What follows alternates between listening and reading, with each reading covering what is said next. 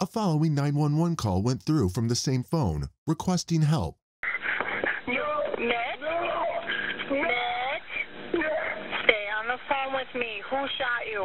I had my son broke in that house. No! Okay, stay on the phone with me, okay? Do not hang up. Ah, no. Ah. It was Heidi's 27 year old husband, Nicholas Firkus.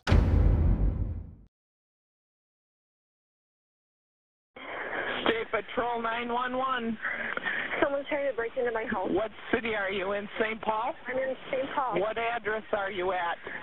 1794. 1794 what? 17, 1794. Minnehaha Avenue. Minnehaha. Someone's trying west? The distressed voice you just heard belonged to 25 year old Heidi Firkus, who would tragically succumb to death mere minutes after, on this fateful day of April 25, 2010. When police finally reached their home at the 1700 block of West Minnehaha Avenue in Minnesota, they found Heidi lying dead from a single gunshot wound. Who was the intruder Heidi was referring to? And what exactly went down in the home? Situated along the banks overlooking the mighty Mississippi River, St. Paul stands as a prominent regional business hub and serves as the center of Minnesota's government. With a population of over 300,000, St. Paul is known as the Twin City to its larger neighbor, Minneapolis. Matching the vibrance of its residents, St. Paul fully embraces the full spectrum of the four seasons, from mild summers to brisk winters. But what truly adds to the fun and excitement of St. Paul is its widely acclaimed brewery scene, which has garnered the city the esteemed title of the beer capital of Minnesota. So, amidst this idyllic setting, when a deadly home invasion took place in 2010, residents were not quite ready to deal with it. Heidi Marie Erickson's journey on this earth began in Roseville, Minnesota, where she was born to her parents John and Linda Erickson on December 14, 1984.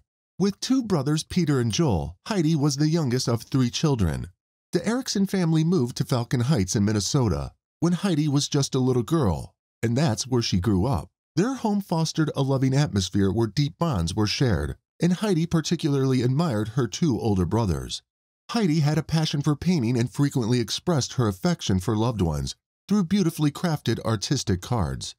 Heidi also excelled academically, but her talents extended beyond the realm of studies. She actively participated in basketball and tennis at school and also engaged in choral music. In 2003, she successfully graduated from Roseville Area High School and went on to attend what is now the University of Northwestern in Roseville.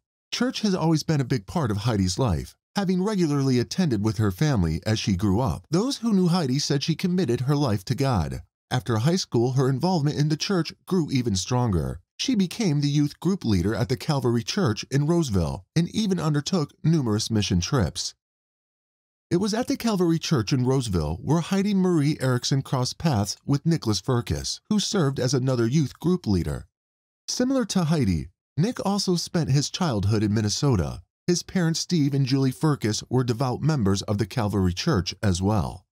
So when 18-year-old Heidi started dating 20-year-old Nick in August 2003, it was a match made in heaven. Heidi's family was all in for her happiness.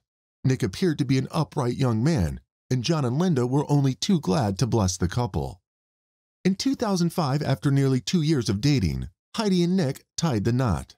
After marriage, they settled down in St. Paul, Minnesota. They were a genuinely happy couple who were deeply in love. Beyond their commitment within the church, the newlyweds found joy in partaking in various outdoor pursuits, such as camping, hiking, and biking. In August 2007, the couple purchased a house located at 1794 West Minnehaha Avenue in St. Paul. They moved into their new home the following month, with Nick taking charge of the financial responsibilities. Heidi, with her artistic sensibilities, poured her efforts into decorating and designing the space. It was like a fresh start, a promising new beginning for their life together. By 2010, Heidi and Nick had settled into a seemingly ordinary life. Nick held the position of Director of Operations at Crew 2 ChemDry, a carpet cleaning company, while Heidi worked at Securian, a financial services firm. Additionally, she devoted her time as a Sunday school teacher. Unbeknownst to anyone around them, Their lives were in the abyss of an unforeseen tragedy that would irreversibly alter their life. On the morning of Sunday, August 25, 2010, 911 dispatch received a frantic call from Heidi Firkus that someone was trying to break into the home on Minnehaha Avenue in St. Paul. State Patrol 911. Someone's trying to break into my house. What city are you in? St. Paul? I'm in St. Paul. What address are you at? 1794. 1794 what? 17, 1794. Minnehaha Avenue. Minnehaha. Someone's trying west? Less than a minute into the call, a piercing scream reverberated through the line, only to be followed by an abrupt silence as the connection was lost. Despite multiple efforts, the attempts to reestablish contact proved unsuccessful. However, approximately two minutes later, another call was received from the same phone, with Nicholas Firkus on the line, who was desperate for help. State Patrol 911. Quick, quick, somebody just broke in the house. You shot me. And my daughter. Okay, are you in St. Paul, sir? Okay, hold. Let, let me get you right in there. Hold on one second. Okay, hold on. Hold on a sec. As Nick desperately conveyed the harrowing news that both he and his wife had been shot, the police were already en route to their residence. Nick? No. Nick? Yeah. Stay on the phone with me. Who shot you? I didn't son broke in that house. No. Okay, stay on the phone with me, okay? Do not hang up. Ah, no. Ah. Upon entering the residence, the St. Paul police immediately observed that the front door was slightly ajar. A distinct odor of gunpowder lingered in the air, growing increasingly potent as they made their way toward the kitchen area. In the kitchen, Heidi Firkus lay motionless on her back, her feet positioned towards the entrance. Traces of blood stained her hair and face, and she remained unresponsive. Meanwhile, Nick was situated beside her, engaged in conversation with the 911 operator. He had an apparent gunshot wound to his upper left leg. Adjacent to the front door, a shotgun rested on the floor, while visible damage on the lower section of the interior door indicated the impact of shotgun pellets. Although Nick was overwhelmed by intense emotions, he was able to provide a description of the events that transpired that fateful morning. He told police that he and his wife were peacefully asleep in their upstairs bedroom on that Sunday morning. Around 6 a.m., he woke up and proceeded downstairs to quench his thirst with a glass of water. Shortly after returning to bed, while still awake, he heard sounds indicating someone attempting to open their front door at approximately 6:30 a.m. Alarmed by this, Nick promptly awakened Heidi and told her to call 911. As she was talking to the 911 operator, he armed himself with a shotgun from the closet, and they prepared to run out the back door to the detached garage to escape. Afterward, they both made their way downstairs. At that precise moment when they reached the bottom of the stairs, the door swung open, revealing a stranger standing before them. A struggle ensued between the intruder and Nick, while Heidi ran towards the back door. Tragically, amidst the chaos, a gunshot was discharged, striking Heidi in the back. Nick further explained that he and the assailant wrestled over the shotgun, resulting in another gunshot being fired, this time injuring Nick in the leg. He fell to the ground and the intruder seized the opportunity to flee through the front door. However, Nick was unable to provide a detailed description of the intruder. He was unsure that they were black or white, but he did mention that the individual was wearing a hoodie. After the initial statement, Nick was taken to the hospital where he was treated for the gunshot wound. Sadly, Heidi was pronounced dead at the scene. Interestingly, despite the fatal attack that took place, no apparent signs of a home invasion were evident within the house. The front door of the house had two locks, a deadbolt lock and a lower lock. Tool marks were found on the door jamb near the lower lock, but none on the deadbolt. A table positioned just inside the door contained various items, including a beer bottle, a water bottle, and a receipt. But none of these items appeared to be disturbed or displaced. Moreover, nothing was stolen from the house. There was no sign in the house that indicated that a violent struggle had taken place there. The autopsy revealed the extensive severity of Heidi's injuries. She had suffered a single shotgun wound to her back, which entered from the right side and pierced her posterior vertebral column, left ribs, left lung, and anterior ribs. On a contrasting note, Nick's injury was deemed non life threatening. He sustained a through and through gunshot wound to his upper left thigh, resulting in no significant bleeding or substantial injury beyond localized damage to the soft tissues. However, emotionally, Nick was still in a deeply distressed state. Throughout the entire ordeal, he appeared hysterical. After receiving appropriate medical treatment, Nick was discharged from the hospital after approximately three hours. Meanwhile, the St. Paul police initiated multiple interviews in the neighborhood, inquiring whether anyone had observed or heard anything unusual or out of the ordinary during the time of the incident. One neighbor reported hearing the sound of a car screeching through the streets at approximately 6:20 a.m. The witness described the vehicle leaving the area in a hurry. Another neighbor claimed to have heard a loud noise around the same time, coinciding with the moment Nick placed the 911 call for assistance.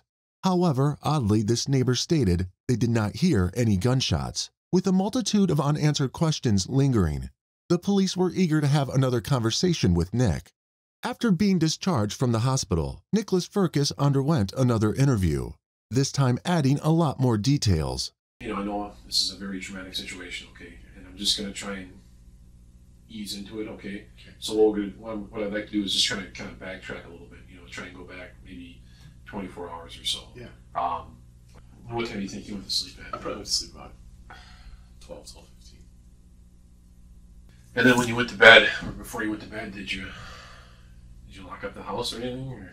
Yeah, I mean, we were pretty religious on uh, throwing bolts and locking up the house because, You're sleeping, Mhm.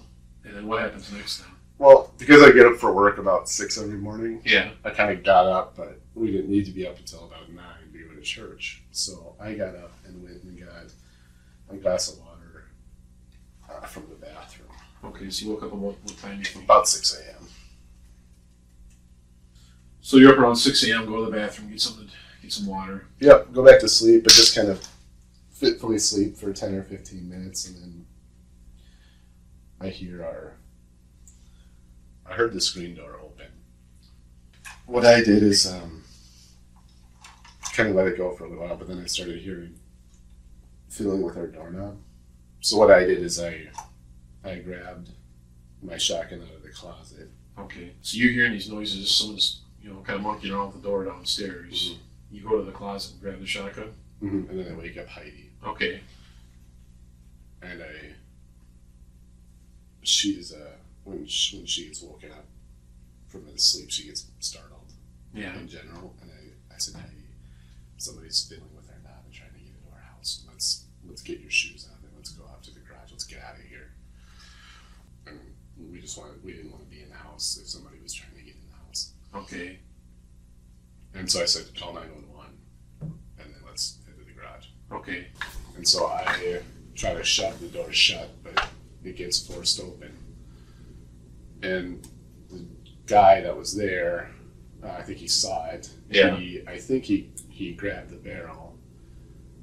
What does this guy look like? Is he a white guy, black guy, Asian guy? I think he was a black guy with a dark hooded sweatshirt that was drawn. I, if I remember right, it was drawn up pretty tight. Yeah. But I did not get a good look because I was looking for Heidi Yeah. and trying to wrestle the gun away so we could bail. I don't remember exactly what happened, but the gun went off. So my fingers slipped on. Despite Nick's cooperation, the detectives harbored lingering doubts regarding the honesty of his account. At one point, the detective confronted Nick directly, asking him point blank if he had any involvement with his wife's untimely death. Why is there a party that wants to ask that? Well, Nick, I'm a, I'm a police officer. Okay. Yeah. I gotta ask. Nick denied having anything to do with Heidi's death. He reassured the detective, saying they had shared a happy marriage. Which is a little stressful. In fact, we were planning on moving tomorrow. Moving where? Well, we hadn't figured that out yet. We were, and and this is a, a hard. It's a hard place for us. Uh, we've, we're foreclosing on our. We foreclosed on our house. Okay. we have to be out by Monday. Tomorrow, one of the reasons I brought the van home was also because it has a trailer hitch. I was going to go back to the office and grab a trailer. So you had to be out by Monday. we do out by Monday. We've been, this has been kind of a private struggle for us, so we were going to move as much of our stuff into the garage as we possibly could Okay. and then start taking stuff to a storage place and then either crash at we hadn't ran it by our folks yet, but we were gonna kind of talk to everybody about it tomorrow and crash at their place or get a hotel and find a place to live. Well, that's kind of, I mean, kind of close notice. It is, and I think the reason is because we're both kind of dealing with the shame of the whole thing because we're embarrassed. Um, that I think that one of the challenges is um,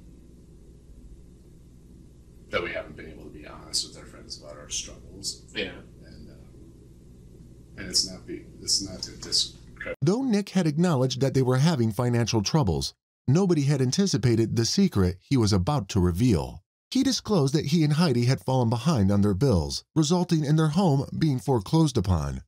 In fact, the imminent eviction was scheduled for the very next day. What made the revelation even more startling was the fact that they had kept this awful situation hidden from their friends and family. Nick confessed that their plan was to pack up their belongings on Sunday and Monday morning, store some items in the garage temporarily, and seek temporary accommodation with someone they knew. Additionally, he claimed that there had been fraudulent activity in their bank account. The disclosure of this bombshell revelation left the police astounded, and their immediate focus shifted toward verifying the truthfulness of Nick's claims. As the police delved deeper into the investigation, troubling aspects began to emerge regarding the situation of the young couple.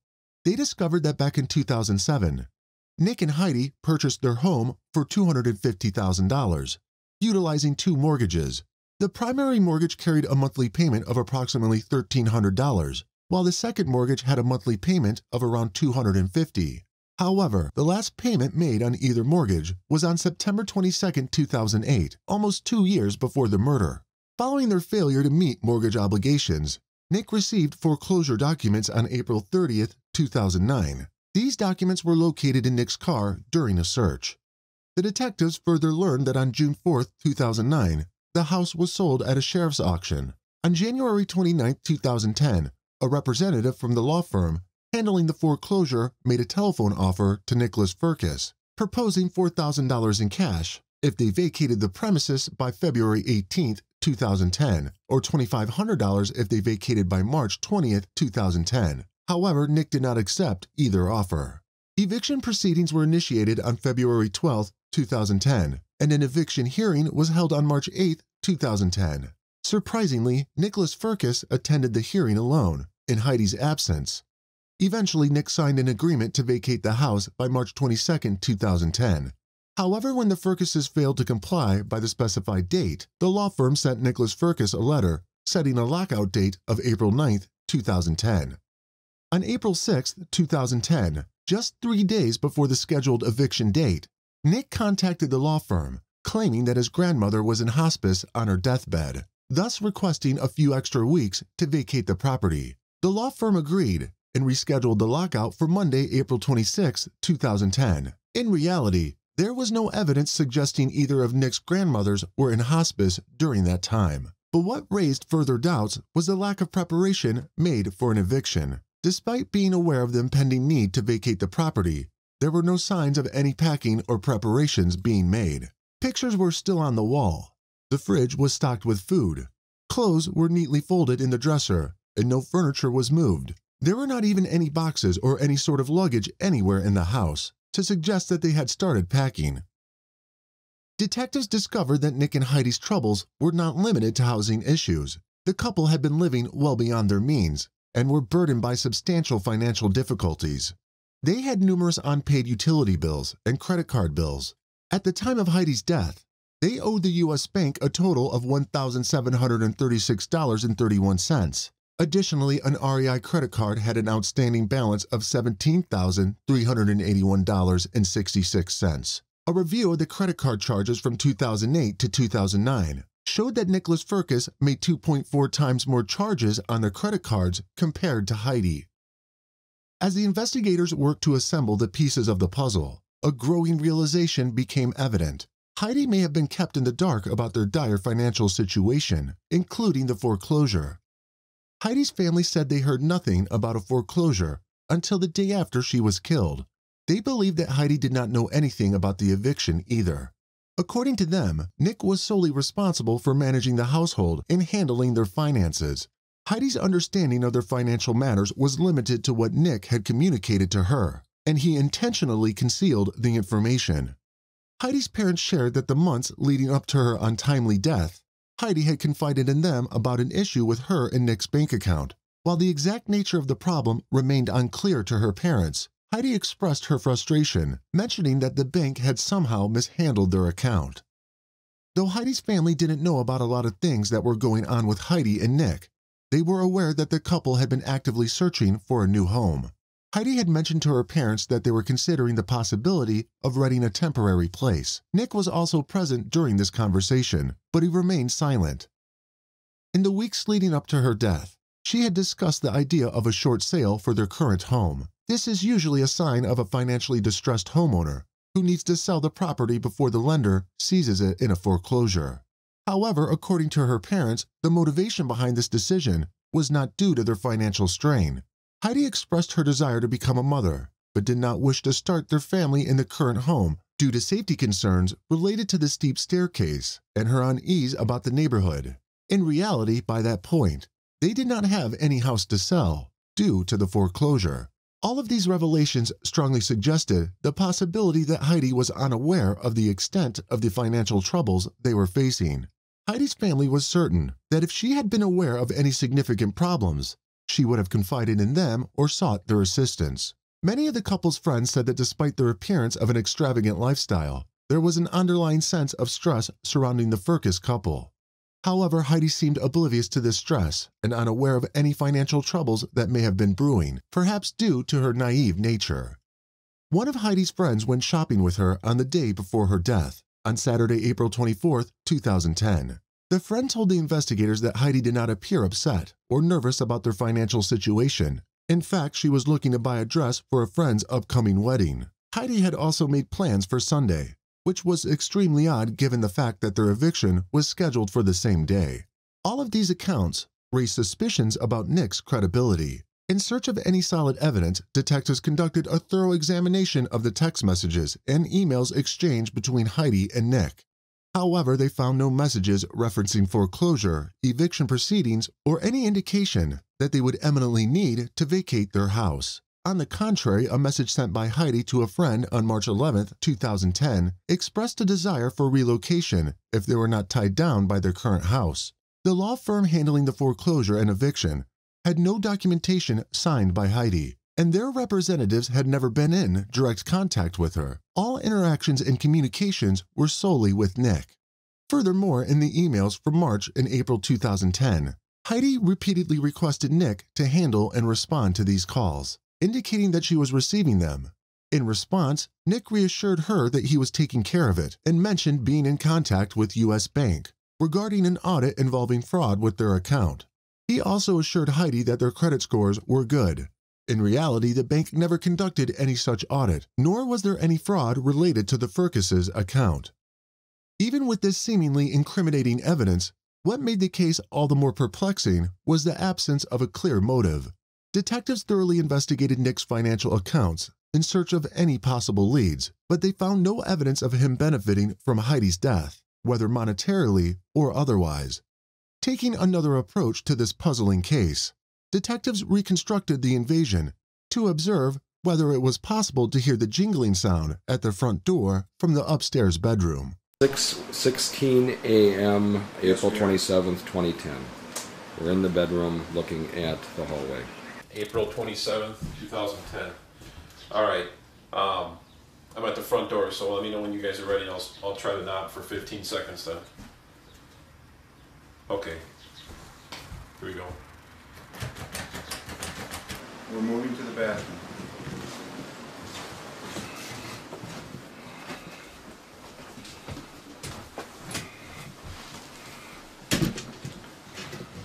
Okay, we're in the bathroom by the bathroom sink looking at.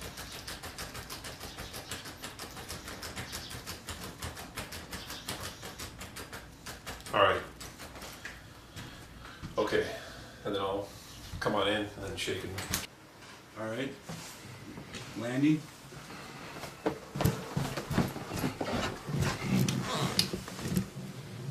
Okay, we're at, on the second floor landing looking at the front door. Unfortunately, the test did not yield any significant findings. The lack of development was disappointing, but authorities continued their efforts to uncover the truth.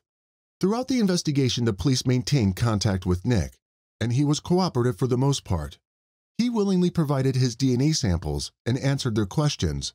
However, a few weeks later, Nick decided to hire a lawyer, Joe Friedberg, who advised him to cease communication with the police. Friedberg alleged that Nick had been mistreated by the police, emphasizing that Nick was a victim and a grieving widower rather than a suspect. As a result, when the police approached Nick with more probing inquiries, he declined to respond to any of them, following the advice of his attorney. To the astonishment of everyone involved, the investigation took a significant turn when Nick's lawyer, Joe Friedberg, reached out to the police. He presented them with the sketch of the alleged intruder, which had been crafted with the assistance of a private artist. Detectives found it peculiar that Nick and his lawyer had sought the assistance of a random artist instead of utilizing the professional services of the police sketch artist. The police became even more skeptical when they compared Nick's initial claim of not getting a good look at the intruder with the level of detail present in the release sketch. The illustration depicted a middle aged man with a dark complexion, big eyes, and wearing a hoodie. Despite their suspicion, the authorities decided to give Nick the benefit of the doubt. In an effort to potentially identify the alleged intruder, the police released the sketch to the media, and soon they found a lead. The sketch looked familiar to St. Paul police. Approximately four months earlier, the police had been involved in a high profile case involving a series of break ins during the morning hours, where the homeowners were present during the incidents. These crimes had garnered significant media attention at the time. The police realized that they might be dealing with the same individual and focused their efforts on linking the two cases together. The intruder was a man named Michael Lee Pye. But there was just one problem. Michael Pye couldn't have been involved in Heidi's murder because he was already in prison when she was killed. He was arrested on January 1, 2010, for the series of burglaries. The St. Paul police still interviewed Pye and subsequently ruled him out as a suspect. Detectives theorized that Nick Firkus may have seen Pye's face in the media coverage and concocted a story implicating him as the intruder, but theories alone couldn't prove Nick's guilt. So, the investigators waited for something more substantial the forensic reports. The forensic report yielded some intriguing findings. The ballistic analysis of the bullets revealed that both shots were fired from Nick's shotgun, confirming his statement regarding the weapon used in the incident. However, the bullet trajectory of Heidi's gunshot wound did not align with the account provided by Nick. But the biggest finding was the absence of unidentified DNA on both the murder weapon and the crime scene. The only DNA they could find either belonged to Heidi or Nick. This led them to consider the possibility that there might not have been an intruder involved, but rather the crime was perpetrated from within. But what could Nick Firkus possibly gain from his wife's murder? Detectives couldn't help but wonder if Nick had deceived Heidi for an extended period, painting a false picture of a stable and prosperous life. Heidi may have discovered the truth about their financial turmoil, or she was very close to doing so. Perhaps driven by fear or desperation, he had resorted to drastic measures to maintain the illusion he had created for Heidi. However, these were all speculations, and authorities still lacked enough conclusive evidence to tie Nick Firkus to the crime. As the days turned into months, Heidi's family had to move on with their life. However, they continued to advocate for justice. Unfortunately, the investigation seemed to have reached a standstill, leaving many frustrated and disheartened. Some staunchly believed in Nick's innocence, firmly convinced that an intruder was responsible for Heidi's tragic death. On the other hand, some believed that Nick had a hand in Heidi's murder. Over the years, the St. Paul police made repeated attempts to contact Nick, seeking his cooperation and assistance in the investigation. However, Nick showed no interest in engaging with the authorities and even requested them to stop reaching out to him. His lawyer, Friedberg, consistently asserted that the police had exaggerated the financial troubles faced by the Firkus couple. According to him, their law firm had thoroughly examined the accounts and concluded that the situation was not as dire as portrayed by the police. Media personnel also tried to reach out to Nick for interviews or statements, but their attempts were met with little success as well. As time went on without any significant breakthroughs, the case gradually turned cold. Though authorities never ruled Nick out as a possible suspect, he was also never officially declared as a suspect. Meanwhile, Nick had moved on with his life too. Just three months after Heidi's death, Nick met another woman, Rachel Watson, and used his recent tragedy as a means to win her affection. Coincidentally, Rachel got to know Nick on a personal level through her sister Sarah, who had shared a close friendship with Heidi. Believing that Nick was the man of her dreams, Rachel started a romantic relationship with him. Sarah, too, held the belief that she was the one for Nick, considering him a remarkable man who had loved and faithfully cared for his wife. In August 2012, after almost a year of dating, Rachel and Nick exchanged vows. The couple went on to have a happy marriage, and they eventually became the proud parents of three wonderful children. They soon moved into a house that was purchased by Nick Firkus's parents. This arrangement was made due to Nick's poor credit score at the bank. Nick and Rachel agreed to make monthly mortgage payments to Nick's parents, while Nick took on the responsibility of paying the property taxes directly to the county. Everything was going well until Rachel stumbled upon a notice indicating that they were at risk of losing their home to foreclosure due to unpaid property taxes. Rachel's mind immediately drew a connection to Heidi's death. She couldn't help but recall the last time Nick faced similar situation. It resulted in an unfortunate event. After this incident, Nick, Rachel's husband, and the father of her children became someone she no longer recognized. Did you fear for your life? There were times that I did for sure. With knowing that he could do it once, what makes you think he can't do it again? Ultimately, one day she decided to confront him and record the conversation. The conversation went this way. You decided you wanted to record the conversation. Yeah. Why? Because I didn't know what was going to happen in that conversation, and possibly, maybe there'd be a confession of some sort. I could get through this if it was just the lying. I really could. The problem is the Heidi stuff. That's my problem. The problem is I don't 100% believe you. I don't have words, Rach. It is too traumatic. And I don't know what else to tell you. The fact that you're lying was so easy for you to do in front of me over and over and over makes me think That I could murder my wife. that you could lie about something. That I could murder my wife. Yes. Although Nick didn't confess to anything, Rachel was genuinely scared to stay with him. The constant worry consumed Rachel to the point where she could no longer bear it. Finally, in 2019, the couple got a divorce. In that same year, Sergeant Nicole Sipes of the St. Paul Police Department decided to re examine the case of Heidi Firkus's death. Sipes contacted the FBI to help reconstruct the 911 call audio data to determine Sipes contacted the FBI to help reconstruct the 911 call audio data to determine if there was evidence of a third person in the home. The analysis of the 911 call highlighted a few concerns. In Heidi's 911 call, there was no indication of a struggle or any mention of an intruder who had gained entry into the house. Her call did not provide any evidence to support Nick's claim of a home invasion.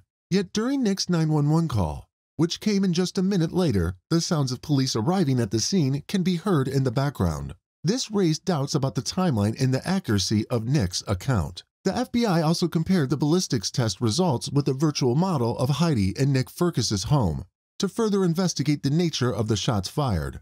The analysis suggested the likelihood that the gunshots fired during the incident were intentional rather than accidental. Upon learning about Nick Firkus's recent divorce from his second wife, Sergeant Nicole Sipes contacted Rachel Firkus. Rachel shared her suspicions with Sipes, providing additional insight into the case. Sipes believed Rachel Firkus could have also been a victim in the same manner as Heidi if she had gotten out in time. Just three years later, the case experienced an unexpected breakthrough. Combining the new evidence with the previous findings, the St. Paul police had accumulated enough substantial evidence to charge Nick Firkus with the murder of his former wife. After years of investigation in May 2021, almost a decade after Heidi's tragic killing, Nick Firkus was arrested at his residence in Mounds View, Minnesota, and was booked in the Ramsey County Jail. Nicholas Firkus's trial began in January 2023 in Ramsey County District Court. For prosecutors Elizabeth Lamon and Rachel Craker, it was the most high-profile case of their careers. Along with presenting the other evidence, the prosecutors presented a possible timeline of events on the day of the murder to the jurors. Their theory was that on August 25, 2010, around 6:30 a.m., Nick had awakened Heidi, claiming to have heard an intruder. Heidi, still sleepy and frightened, followed him downstairs. He made her call 911 to make this story more credible. It was at that moment when Heidi turned her back that Nick shot her. Afterward, he shot himself in the leg and made up the intruder story to the authorities. During the trial, prosecutor Lamon argued Nick was desperate and ashamed and had run out of time, and reality was going to come crashing down on him. However, defense attorney Richmond disagreed with the prosecutor's theory of a motive. He questioned the notion, asking whether a loving husband would kill the person who everyone agreed was the love of his life to spare himself from momentary embarrassment about a foreclosure. He would have survived the embarrassment far more easily than the death of his wife, Richmond added. Richmond also pointed out that there was no financial gain for Nicholas to kill Heidi. However, it wasn't enough to convince the jury. The jurors believed in Nick's guilt beyond a reasonable doubt. On February 10, 2023, after four hours of deliberations, the jury found Nick Firkus guilty of murder. For all of us, it is impossible that Nick could ever have done what he is accused of doing. We believe him, and we believe in his innocence. On April 13, 2023, almost 13 years after Heidi's death, he was sentenced to life in prison without parole.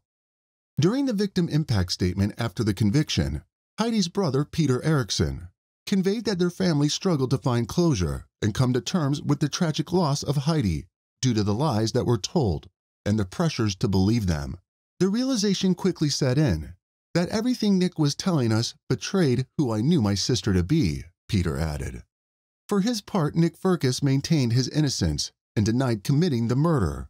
While I understand the jury's verdict and the sentence you must give, I do maintain and will maintain to my dying breath my innocence of this crime. He also declared, My body is condemned to serve for another man's crime, but my soul is free. The conviction brought a sense of solace to Heidi's parents, John and Linda Erickson. They expressed their gratitude to all the people who had worked tirelessly for justice throughout the years. Heidi Firkus's gravestone bears the inscription, Joyful Child of God, a description that beautifully captures the essence of Heidi's spirit. Instead of grief overshadowing our every memory, we believe it will now take its proper place alongside all the goodness, joy, and beauty God brought into our lives through the gift of Heidi, shared Heidi's parents. The 1980s marked a period of growth and development in Tampa Bay, Florida. In 1989, Tampa was already a popular tourist destination with beautiful beaches and diverse attractions like Busch Gardens and the Salvador Dali Museum. The region experienced economic growth with sectors such as tourism, agriculture, shipping, and manufacturing contributing to its prosperity. And amidst this prosperous tourism hotspot, some tourists noticed three dead bodies floating in the sea on June 4, 1989. Joan Jo Rogers was born on November 12, 1952, to Wilhelm and Virginia Etzler. Later, she married Hal Rogers, and they settled on a farm in Willshire, Ohio, living an idyllic life. On February 22, 1972, their first daughter, Michelle, was born. And on October 6, 1974, their second daughter, Christy, was born. Hal and Jo Rogers regularly took good care of their animals. Their daughters Michelle and Christy loved the animals on the farm and found great joy in their happy life, despite the hard work on the farm.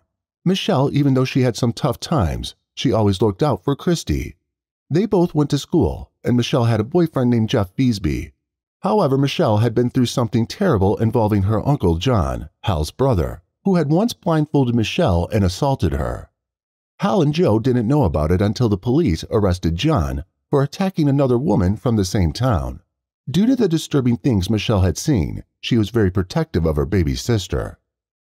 Christy was a bubbling and outgoing girl. She was a cheerleader, loved softball, and was very close to her father. She looked up to Michelle, even though they had their arguments as sisters do. Michelle was sometimes jealous of the attention Christy got from their father, but despite her struggles, Michelle always cared for her little sister. The family faced many challenges on the farm, but Jo was the strongest. She worked long hours at two jobs and took care of the family and the animals. She was often exhausted, but she never stopped working. On Friday, May 26, 1989, 36 year old Jo Rogers and her two daughters, 17 year old Michelle and 15 year old Christy, went on a long awaited road trip to Florida. They left their farm in Ohio and were looking forward to enjoying a family vacation. Jo, who worked the night shift at a distribution center, was excited to give her girls their first vacation. They left Jo's husband, Hal, to take care of the farm and drove their Oldsmobile Calais south on Interstate 75. Their plans included visiting theme parks and enjoying the Florida sun. They visited the Jacksonville Zoo, Silver Springs, SeaWorld, Epcot, and Disney's MGM Studios, having a great time away from farm responsibilities. On June 1st, they reached the motel in Tampa and were thinking about going to Busch Gardens. Michelle called her boyfriend Jeff to have a conversation with him. At 12:57 p.m., the family made another call to Busch Gardens. At night, the Rogers women were seen happily dining at the motel's restaurant by a businessman. But after that evening, they mysteriously disappeared. The last photo they took in their motel was Michelle getting ready for their next adventure. Sadly, they never got to see the sunrise again. Hal Rogers anxiously waited for Jo and his daughters to return from their Florida vacation. Even though he hadn't heard from them for days, he tried to stay positive, hoping they were all right. As time passed, his worries grew and wondered where they could be. On June 4, 1989, the Amber Waves, a sailboat returning to Tampa from Key West, spotted something troubling in the water. They saw what looked like a body of a woman floating face down. Her hands were tied behind her back, her feet bound, and a thin yellow rope was around her neck. She was unclothed from the waist down. Someone on the Amber Waves radioed the Coast Guard, and a rescue boat was sent from the Bayboro Harbor Station in St. Petersburg. The Coast Guard crew located the body and had difficulty retrieving it. There was something heavy attached to the rope around her neck, making it hard to bring her up. They noted the location and cut the line around her neck, placing her in a body bag before heading back to the station. However, before reaching the shore, they received another distressing message. Another female body had been spotted by two people on a sailboat. This time it was two miles off the pier in St. Petersburg. Like the first body, this one was also face down, bound with a rope around the neck, and naked from the waist down. The same Coast Guard crew went to recover it. As they were dealing with the second body, another call came in a third female floating on a short distance away to the east. Once the third body was also recovered, all three bodies were brought to the Coast Guard station for examination and to be photographed by the arriving investigators from the Florida Marine Patrol.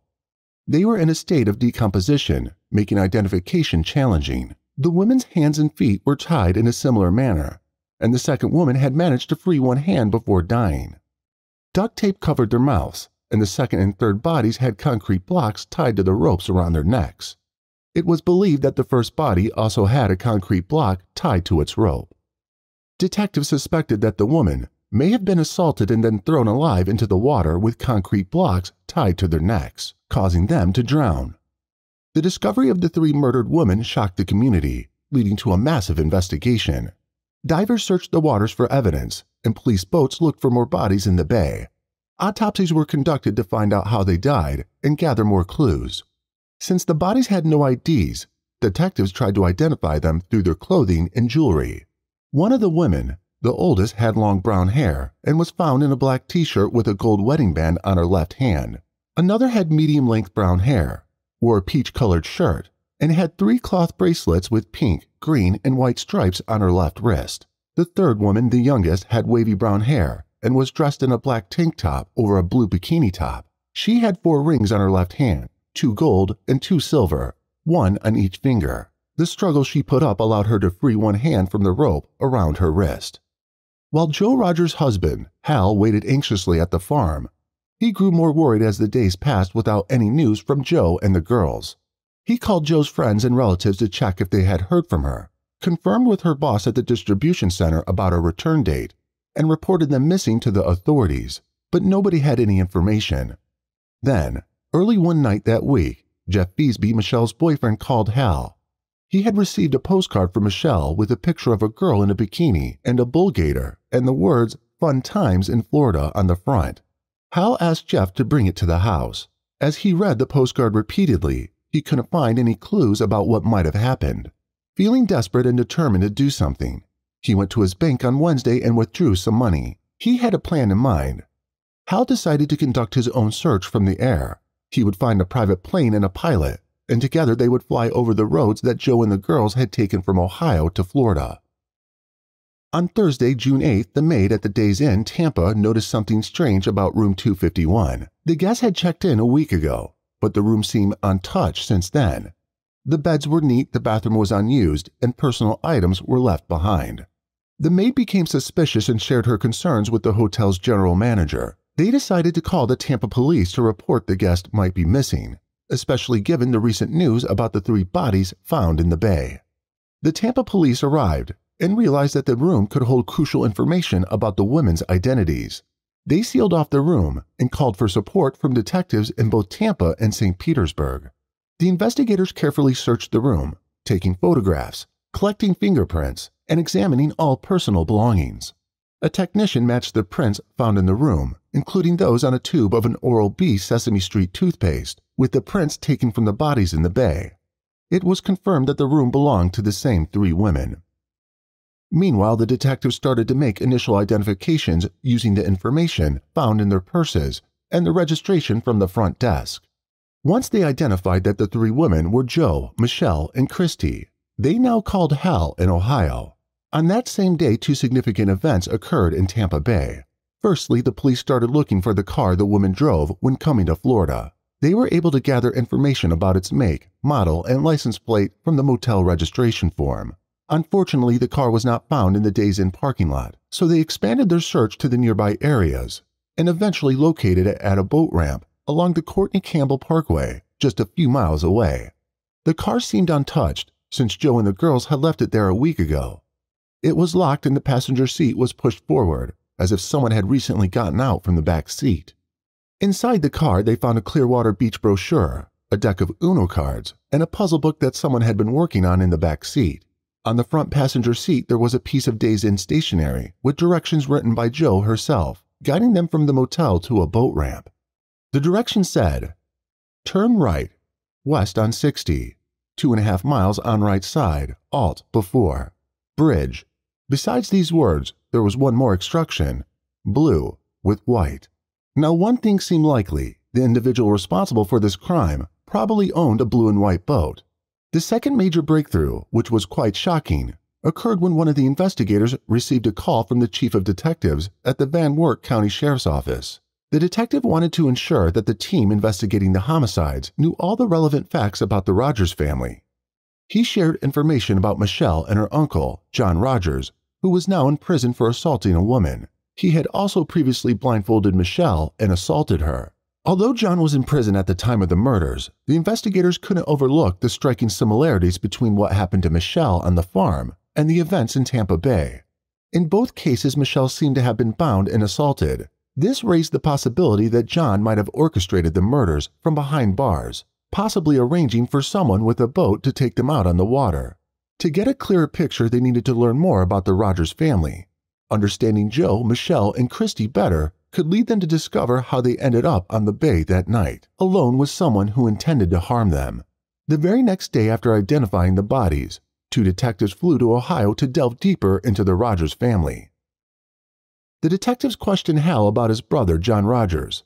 Hal clearly stated that John was a loner, and at the time of the missing and eventual death of the Rogers women, he was in jail. There was no way he could plan a murder from inside the cell, as he had no connections with his prison mates. But during their inquiries, the detectives discovered unsettling information about Hal himself. They learned that Hal had posted John's bail when he was accused of assaulting a woman, and despite later learning about the allegations involving Michelle, he kept his word to support John. Hal explained that he wanted to keep peace within the family and believed that someone was lying. He had also said that he had already promised Jo that he would pay for his bail before he knew about the Michelle incident, and so he had kept his word. Another peculiar incident was a $7,000 cash withdrawal Hal made while the girls were missing.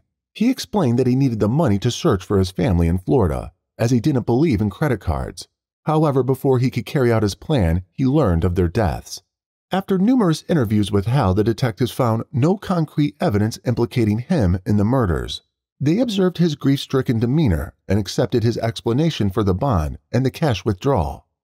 When the detectives asked him where the $7,000 went, Hal took them to the back of his truck. Inside it was a bag that had $6,000, and the rest was in Hal's pocket. After interviews in Ohio, detectives cleared Hal and John Rogers as suspects in the Florida murders. In October 1989, lead detective John Capel discovered a crucial lead while going through a bulletin from the Florida Department of Law Enforcement.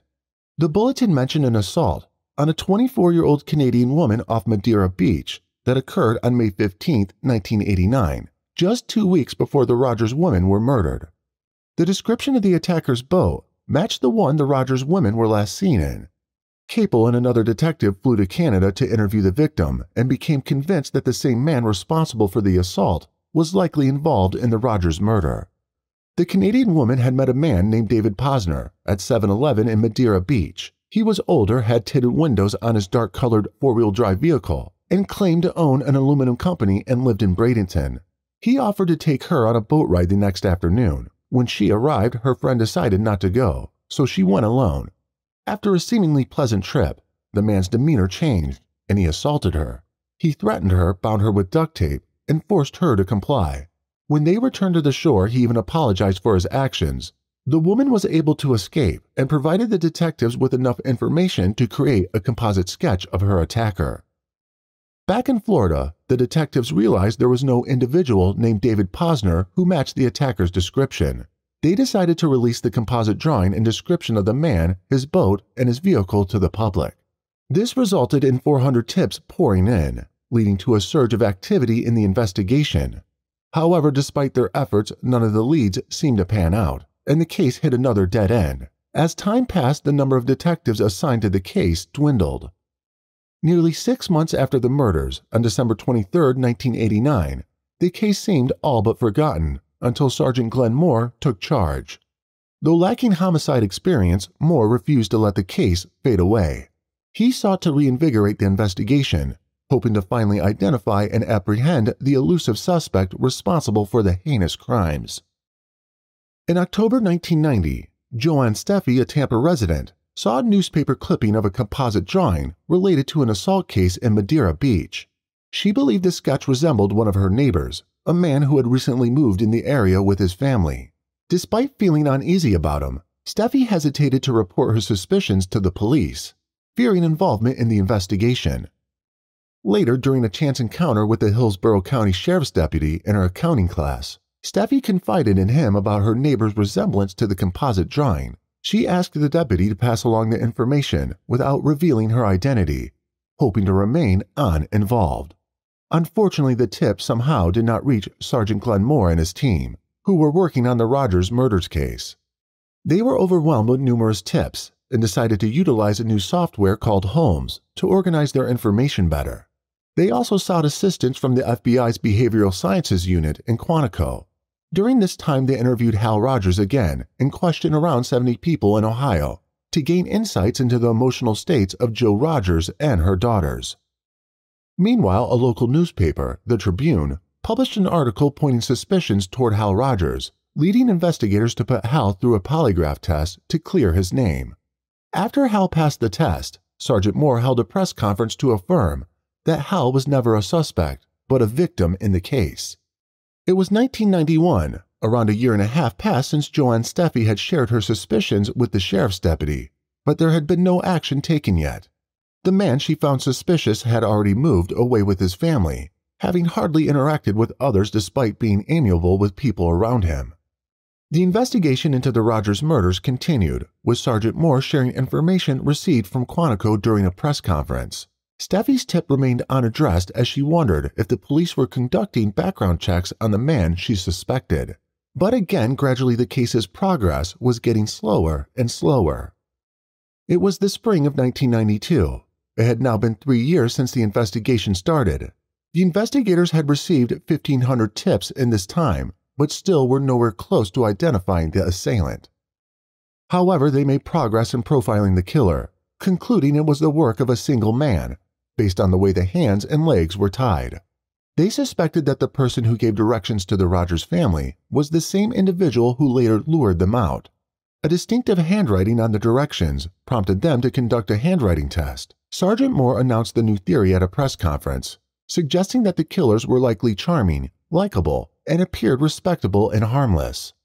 Back in March 1992, Joanne Steffi's sister called the police to say that Steffi knew a man who resembled the suspect's sketches. The police tried to reach Steffi, but they couldn't get through. On May 14, 1992, it had almost been two and a half years since Steffi had tipped the police about her neighbor. Now Steffi saw the news and Sergeant Moore's press conference in the newspaper and wondered if she should report her suspicion again. Steffi recalled her former neighbor, who was an aluminum contractor and thought his handwriting might match the one in the composite sketch. She talked to Eileen Prisbiz, a civilian investigator, about her neighbor, whose name was Oba Chandler in the contract, his boat, and his SUV. She found the contract and check from when Chandler built a porch for her neighbor, Moselle Smith. Steffi compared the handwriting from the contract and the press conference clipping, and she was convinced it was the same. Steffi called the task force again and told Prisbiz about the contract and handwriting. She wanted to provide a lead. They faxed the contract and check to the investigators, but the task force was dealing with a flood of tips, so it took time to look into Steffi's information among the other leads. Meanwhile, the investigators used billboards to seek public help in finding the killer. Joanne Steffi and Moselle Smith had already shared their suspicions, but there was a backlog of tips. Frustrated, they sent the handwriting samples again, which now caught the attention of the task force. Investigator Prisbiz reevaluated the writing, but couldn't make a definite match. The lead was handed to another investigator, J.J. Geoghegan, to follow up. On Friday, July 31st, Geoghegan visited Moselle Smith in Tampa to obtain the original contract related to Oba Chandler. Upon comparing the contract's handwriting with the directions on the brochure, the task force found strong similarities, leading them to consider Oba Chandler as a new suspect. They quickly gathered more information about him, discovering he was a 45 year old man living with his family in Port Orange near Daytona Beach. Oba Chandler became a significant suspect in the investigation of the Rogers women's murders. At the time of the murders, he lived on Dalton Avenue, close to where Jo and the girls vanished, just two miles from the boat ramp. Records showed that he owned a 21 foot Bayliner boat with a blue and white interior and a dark blue Jeep Cherokee. He had an extensive criminal history, including charges of kidnapping, burglary, armed robbery, and counterfeiting. They compared a picture of Chandler with a composite sketch, and it was a perfect match. After three years of relentless investigation, Sergeant Moore was convinced they had their man. Another fact emerged. The man who had assaulted the Canadian woman before also owned an aluminum company, similar to Chandler's line of work as an aluminum contractor. To keep his real name hidden and avoid alerting Chandler, they referred to him as the Tin Man. The task force expanded rapidly, collaborating with the state attorney's office to build a strong case against Chandler. Starting from when 1969, when I was first arrested, you got to remember something where I was raised up as a kid. Uh, the majority of the time, you wasn't arrested. When you was caught doing something, you got beat out of you with, with, with sticks, nightsticks by the cops. Chandler had a troubled past, with a history of crimes and a penchant for frightening and threatening people. Investigators spread across Florida and the Midwest collecting evidence against him. Born on October 11, 1946, in Cincinnati, Oba Jr. had a tumultuous childhood with his father taking his own life when he was young. He got into trouble early on, stealing cars and facing numerous arrests. As an adult, he faced a long list of charges, including possession of counterfeit money and armed robbery. Chandler married Deborah Ann Whiteman on May 14, 1988, just 10 days after she had divorced her previous husband. They bought a house on Dalton Avenue, close to Joanne Steffi, who later reported her suspicions about Chandler. Chandler's house had a canal leading to Tampa Bay, where he had a 21 foot Bayliner boat during the time of the Rogers murders. He sold the boat shortly after the crimes. He also owned a dark blue Jeep Cherokee during the same period, resembling the vehicle described by the Canadian tourist who was assaulted. Investigators had now gathered enough evidence to consider Oba Chandler as the prime suspect in the Rogers women's murders. In the summer of 1990, as news about the Rogers investigation and its upcoming feature on Unsolved Mysteries spread, Chandler, his wife, and young daughter Whitney left their home on Dalton Avenue. They stopped making mortgage payments, leading the bank to foreclose and sell the house. Chandler moved to Florida's East Coast in July 1990, initially living in Broward County before settling in Port Orange near Daytona Beach. Despite his credit issues by October 1991, he leased a house in his daughter's name. Chandler appeared normal to his neighbors, although they didn't know what he did for a living. Now in 1992, investigators confirmed his handwriting and fingerprints matched evidence from the case, leading to surveillance of his new home with phone monitoring. In early September 1992, while other tests were ongoing, two investigators, Detective Katie Connor Dubina and FDLE agent John Halliday, traveled to Toronto to speak with the Canadian tourist who had been assaulted at the Madeira Beach in May 1989, just two weeks before the murders. The woman, now 27 and married, worked as a social worker. They showed her six pictures of different men and asked her to identify the person involved in the incident. When she saw the third photo, she became visibly upset and confirmed that this was her assaulter. The photograph featured Oba Chandler. She signed the photo and asked to turn it over as it was disturbing her. A large team of about 40 to 50 law enforcement officers from various agencies, including the St. Petersburg Police, FDLE, and the FBI, were now surveilling Chandler around the clock.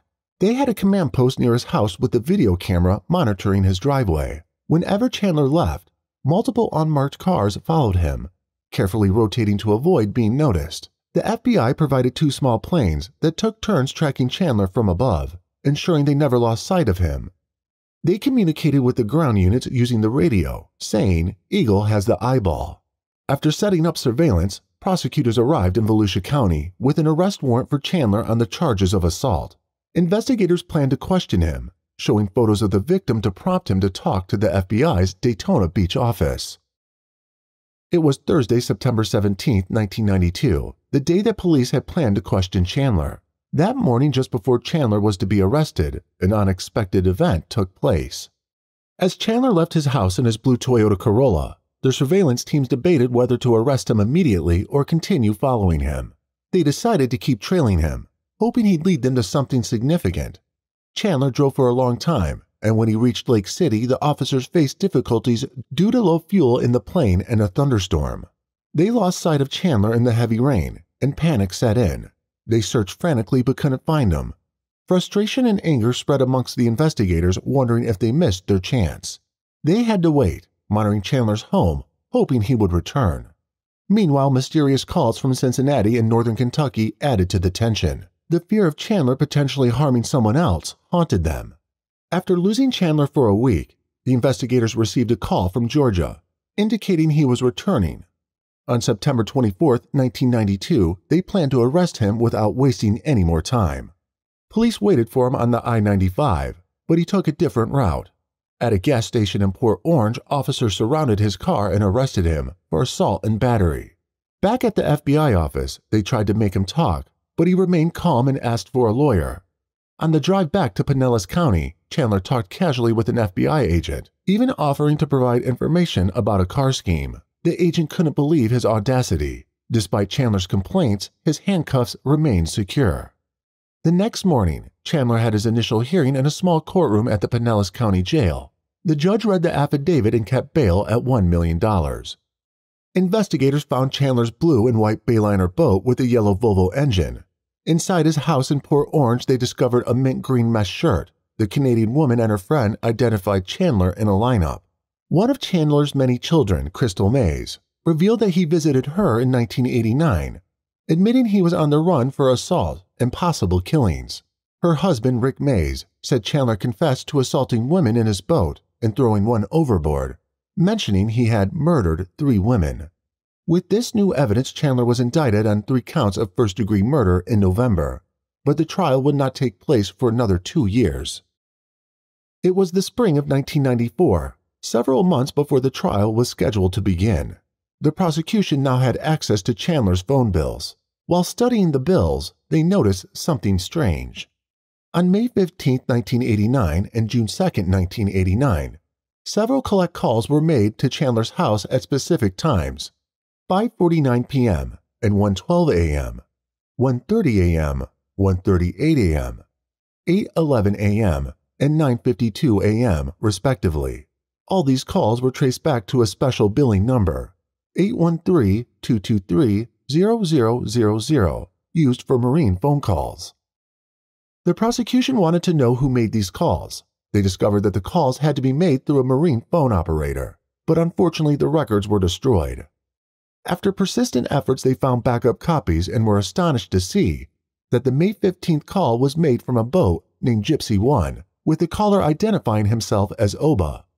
The June 2nd calls were also from Gypsy 1, with the fifth call identifying the person as Obi. On September 19, 1994, Chandler's trial began. During the trial, the prosecution acted swiftly, calling around 20 witnesses each day. They presented evidence like the directions found on the brochure in Jo Rogers' car, the palm print on the brochure, and Chandler's call from his boat. Chandler's daughter Crystal Mays testified about his shocking confession in Cincinnati, where he admitted to physical assault and possibly murder. In jail, too, witnesses had heard himself incriminate himself, talking about assaulting a foreign woman and mentioning the Rogers case. A laborer, Rollins Cooper, shared how Chandler spoke about a date with three women on the day of the disappearance. The Canadian tourist bravely testified about her terrifying encounter with Chandler. Hal Rogers, Michelle's husband, remained strong in court, thanking the brave Canadian woman. In a crowded courtroom, Chandler testified in his defense, appearing calm and composed. He confirmed meeting the Rogers family when they asked for directions to Days Inn in Tampa. He thought they meant a different one at first, but one of the girls clarified and directed them toward Rocky Point. Chandler explained that he was returning from a job estimate when he encountered them at a gas station near Interstate 4 in East Tampa. During his testimony, Oba Chandler denied any involvement in the murders and refuted allegations made by witnesses. He explained a fishing trip gone wrong on the night of June 1, 1989. After finishing fishing that night, Chandler encountered a problem with his boat. He attempted to start the engine, but it only sputtered briefly before stopping. Investigating further, he noticed a strong smell of gas and found that a fuel hose had burst, causing the entire 40 gallon tank to leak into the space beneath the boat's deck. Scott Hopkins, the investigator, noticed something odd in Chandler's testimony about the fuel leak in his boat. Knowing the boat well, Hopkins was certain Chandler was lying. He immediately informed the lead prosecutor during the lunch break, and a mechanic was sent to reinvestigate Chandler's boat. After the lunch break, the prosecutor wasted no time in beginning the cross examination. Chandler reluctantly admitted to his past felony convictions, and the prosecutor pushed him about the murder accusations made by his daughter and son in law, to which Chandler invoked the Fifth Amendment. The prosecutors then questioned the events of June 1, 1989, and exposed contradictions in Chandler's story about the fuel leak and his whereabouts.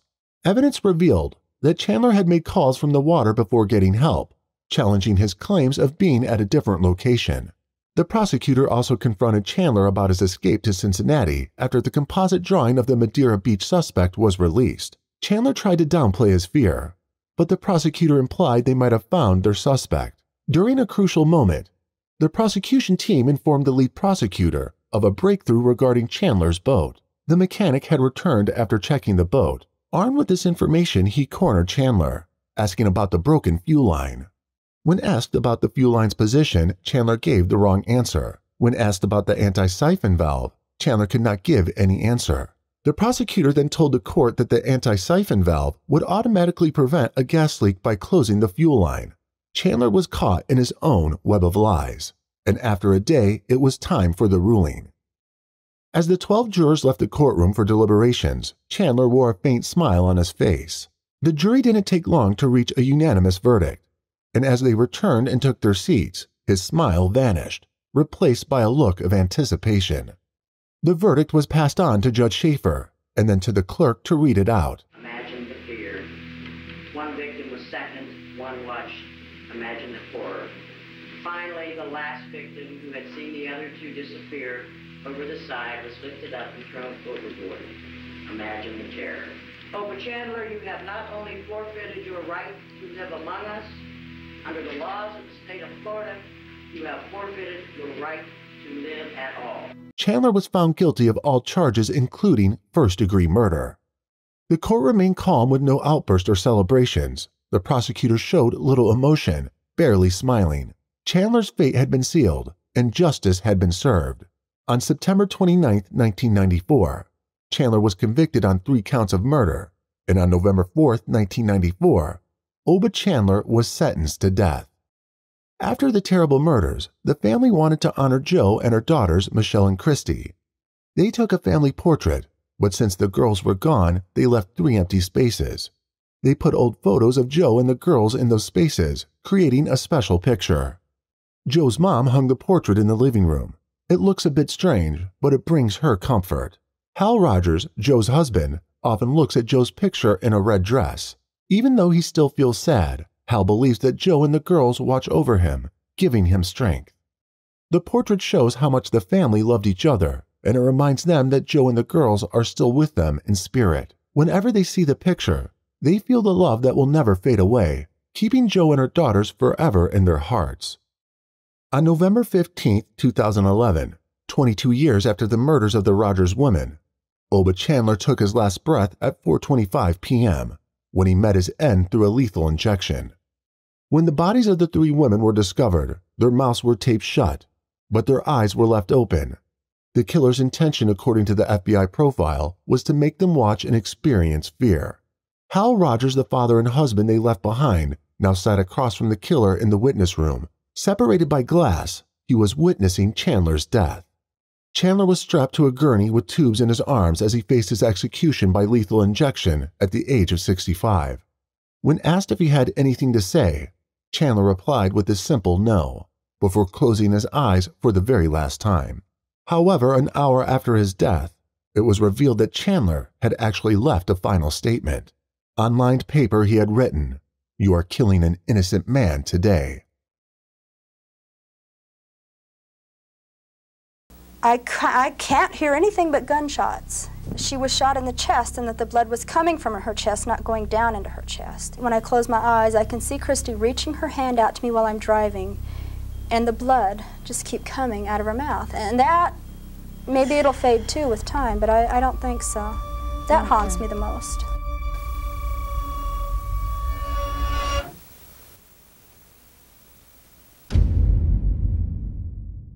On the tranquil evening of May 19, 1983, a scene of unimaginable terror unfolded at McKenzie Willamette Hospital in Springfield, Oregon. Diane Downs, a 27 year old mother, arrived there with her three children, having endured the horrifying ordeal of a deadly carjacking. What is it? Somebody just shot my kids. There's blood, blood everywhere. The children, bloodied and shot, were fighting for their lives, while their mother was shot in the arm. As news of this horrifying incident spread like wildfire, a nation stood united in shock and sympathy for the unfortunate family. Yet as the shadows lifted, an unsettling truth began to emerge. Who could have targeted the helpless children and their mother? What were the fragments of truth that held the power to reshape their entire story? Springfield, Oregon is a charming town tucked away in the breathtaking landscapes of the Pacific Northwest. Just a stone's throw from Eugene, Springfield has carved out its own identity by becoming the beloved sister city that never quite outgrew its small town charm. And here's an exciting tidbit. Legend has it that Springfield served as the inspiration for the iconic American town featured in The Simpsons. As you wander through the streets, you'll encounter the coolest murals splashed across various walls. Despite this colorful backdrop, the crime in Springfield today surpasses the national average. However, back in the 80s, the occurrence of violent crimes in this region was unheard of. Therefore, when a mother of her three children were attacked in this very place, people were left stunned. It still stands as one of the most unsettling tales to have ever unfolded within the city's borders. At approximately 10:48 p.m. on Thursday, May 19, 1983, 27-year-old Diane Downs arrived at the McKenzie Willamette Hospital ER. The mother pointed towards her red Nissan sports car and screamed out loud, "Somebody shot my kids." What is it? Somebody just shot my kids. There's blood, there's blood everywhere. Eight-year-old Christine and three-year-old Danny were struggling to breathe as they lay in the back seat, gasping for air. Meanwhile, seven-year-old Cheryl was lying face down on the floorboard in front, nearly hidden beneath the dashboard, covered by a dark sweater. In a race against time, all three children were rushed to the emergency room. The mother, Diane, had a minor gunshot wound to her left forearm, which was wrapped in a towel. A surprisingly minor injury, considering the viciousness of the attack. Her children, however, were in critical condition. They had been shot multiple times at close range. Dr. Stephen Wilhite, one of the few board certified thoracic surgeons in the hospital that night, rushed to the hospital after hearing about the tragic incident. When I first walked into the, the ER, immediately they pointed me to Christy. When I looked at Christy, I thought she was dead. Her pupils were dilated. Um, her blood pressure was non existent. And she is so close to death, it's unbelievable. Christy bore the brunt of three gunshot wounds, with two striking her left chest and one affecting her thumb. Due to immense blood loss, she had suffered a stroke. Danny had suffered a gunshot wound to his spine, resulting in paralysis. Although barely, both of them managed to hold on to life. Unfortunately, that was not the case for the other sibling, Cheryl, who had sustained two gunshot wounds to her back and was pronounced dead later that night. When news of Cheryl's death reached Diane, her demeanor was calm, a little too calm. She did not even flinch after hearing that the other two children had survived after being grievously injured. Her sole inquiry was whether the bullet had missed Danny's heart. The lack of visible emotional response from Diane struck those around her as odd, to say the least. I can only imagine the shock of everyone at the hospital. It was difficult for them to fathom how a mother who had just lost one child and found the other two in critical condition could appear so seemingly detached and unaffected. When I was finished taking care of Christy, then I sought out her mother, and to my complete surprise, Diane was non emotional, not a tear in her eye. I've never seen a reaction like that at all. However, the medical professionals attending to her wound speculated that Diane might be experiencing shock, a common response to such a distressing incident. Understanding the gravity of the situation, the hospital didn't waste any time in alerting the authorities. Around 11:15 p.m., three officers from the Lane County Sheriff's Office, Dick Tracy, Doug Welch, and Roy Pond arrived at the hospital. Got a phone call from dispatch, and I was told the mother and her children had been shot. When I got to the hospital, I was uh, directed to interview the mother. Once Diane's initial treatment was complete, she was seated for an interview with the detectives. They began the interview with an introduction and then moved on to ask Diane about the events that had transpired throughout the day, seeking her first-hand account. This is Detective Tracy, uh, Lane County Sheriff's Office, and uh, present in the room is Detective Welch, and did you say your name? Elizabeth Bell. When you got up and go that From the beginning of the day. from the beginning of the day. Oh, okay. I got up at 5.15, took a shower, fixed my face, got the kids up at a quarter to six, and they got ready and went to Grandma's house. Diane proceeded to tell the investigators that she left the kids at her parents' house at around 6:15 a.m. before heading off to work at approximately 6:30 a.m. Christy and Cheryl attended school while Diane's mother looked after Danny. After school ended, the girls joined their younger brother at their grandparents' home. Diane said she got off work at around 3:30 p.m. and went to her parents' house to pick up the kids. She returned to the rental duplex at 1352 Q Street with her children to have supper. But then there would be an unusual change in their otherwise ordinary routine. Diane had a friend named Heather Pollard who resided outside of Springfield on Sunderman Road. She explained that Heather had previously expressed an interest in owning a horse to her. So when Diane had come across an article about horses available for adoption, she thought Heather might find it appealing. Since the Pollard family did not have a phone, Diane, accompanied by her children, decided to pay them a visit that night. They stayed at the Pollard property approximately 15 to 20 minutes, during which Diane engaged in conversation with Heather, while her kids had the opportunity to feed and interact with the horse on the farm. We went out there. She already had a horse. She'd just gotten it a couple days earlier. Same day I found the newspaper article, as a matter of fact. And so we stayed and the kids fed the horse grass and pet the horse and stuff like that. And then we left. Diane said they left around 9:15 p.m. On their way back home, Cheryl occupied the front passenger seat, with Danny sitting directly behind her in the back seat, and Christy seated next to him behind the passenger seat, instead of taking the direct route back home. impulsively Diane made a spur of the moment decision to indulge in a bit of sightseeing, something she claimed both she and the children enjoyed doing. Like I said, we like to just cruise around and see stuff. We're new to the area, and the kids love the scenery and the trees, and they like to watch the rapids and the water of the river and stuff like that. We just liked enjoying stuff like that. However, after doing this for a while, she turned back toward Springfield, noticing all three children had fallen asleep. She was driving down Old Mohawk Road outside the city, and Duran Duran's Hungry Like a Wolf was playing on the stereo. Diane said she only drove for a short distance on that dark country road when she encountered a man in the middle of the road. So I just took off down there and got down a little ways, and there was a guy standing in the road waving his arm. He was not like on the white line, but he was in the center of my lane. So I stopped and got out and asked him what was the problem.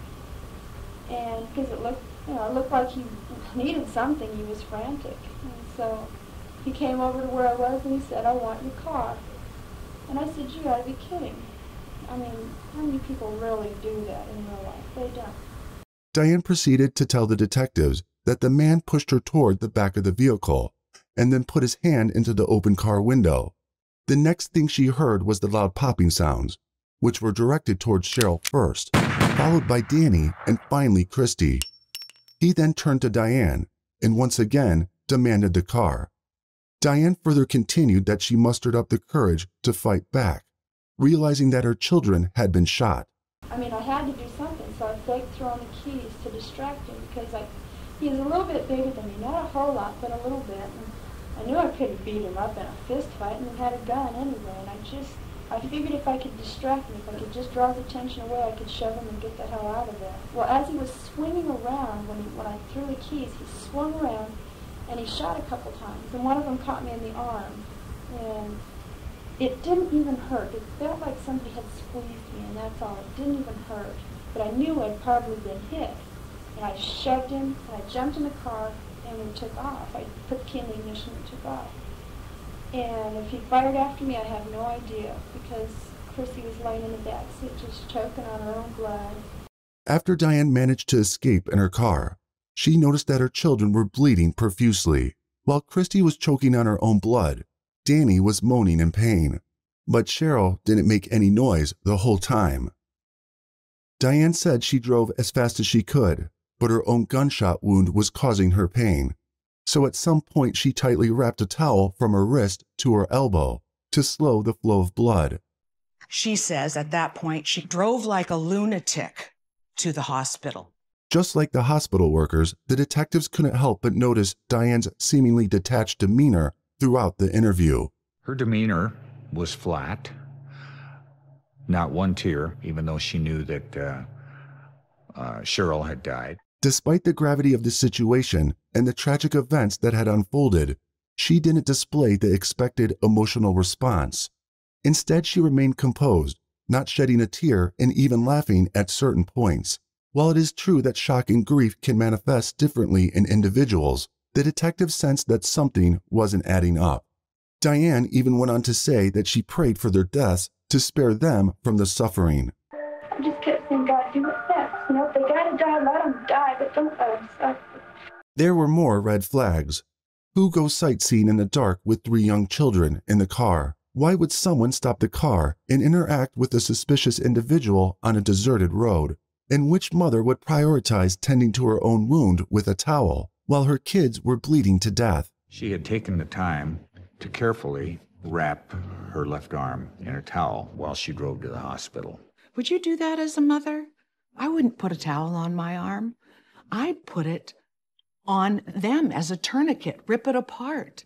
The hospital workers also shared some of the disturbing comments made by Diane upon her arrival at the hospital. She reportedly made remarks such as, Boy, this has really spoiled my vacation, and that really ruined my new car. I got blood all over the back of it. These comments were not only bizarre, but also deeply troubling, making everyone question the credibility of her story.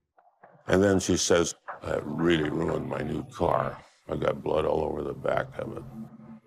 Despite this, the investigators wanted to give the benefit of the doubt to a grieving mother, so they did not yet rule out the possibility of an unknown perpetrator. Their attention shifted towards gathering more information about the perpetrator, whom Diane had described to them. He was medium build, but pushing towards being a little bit heavy. Um, he had darkish hair, but not black. It was like a brown, dark brown, whatever. His face was kind of stubbly. Um, not Yeah. like a beard. Not like he had a beard, but like he hadn't shaved in a couple days or something. Um, his, um, his hair was kind of shaggy looking, like it had been cut in a shag, but not brushed out properly. It's just a voice, just a, no accents, no lisps. Um, nothing that would distinguish him outwardly from anybody else.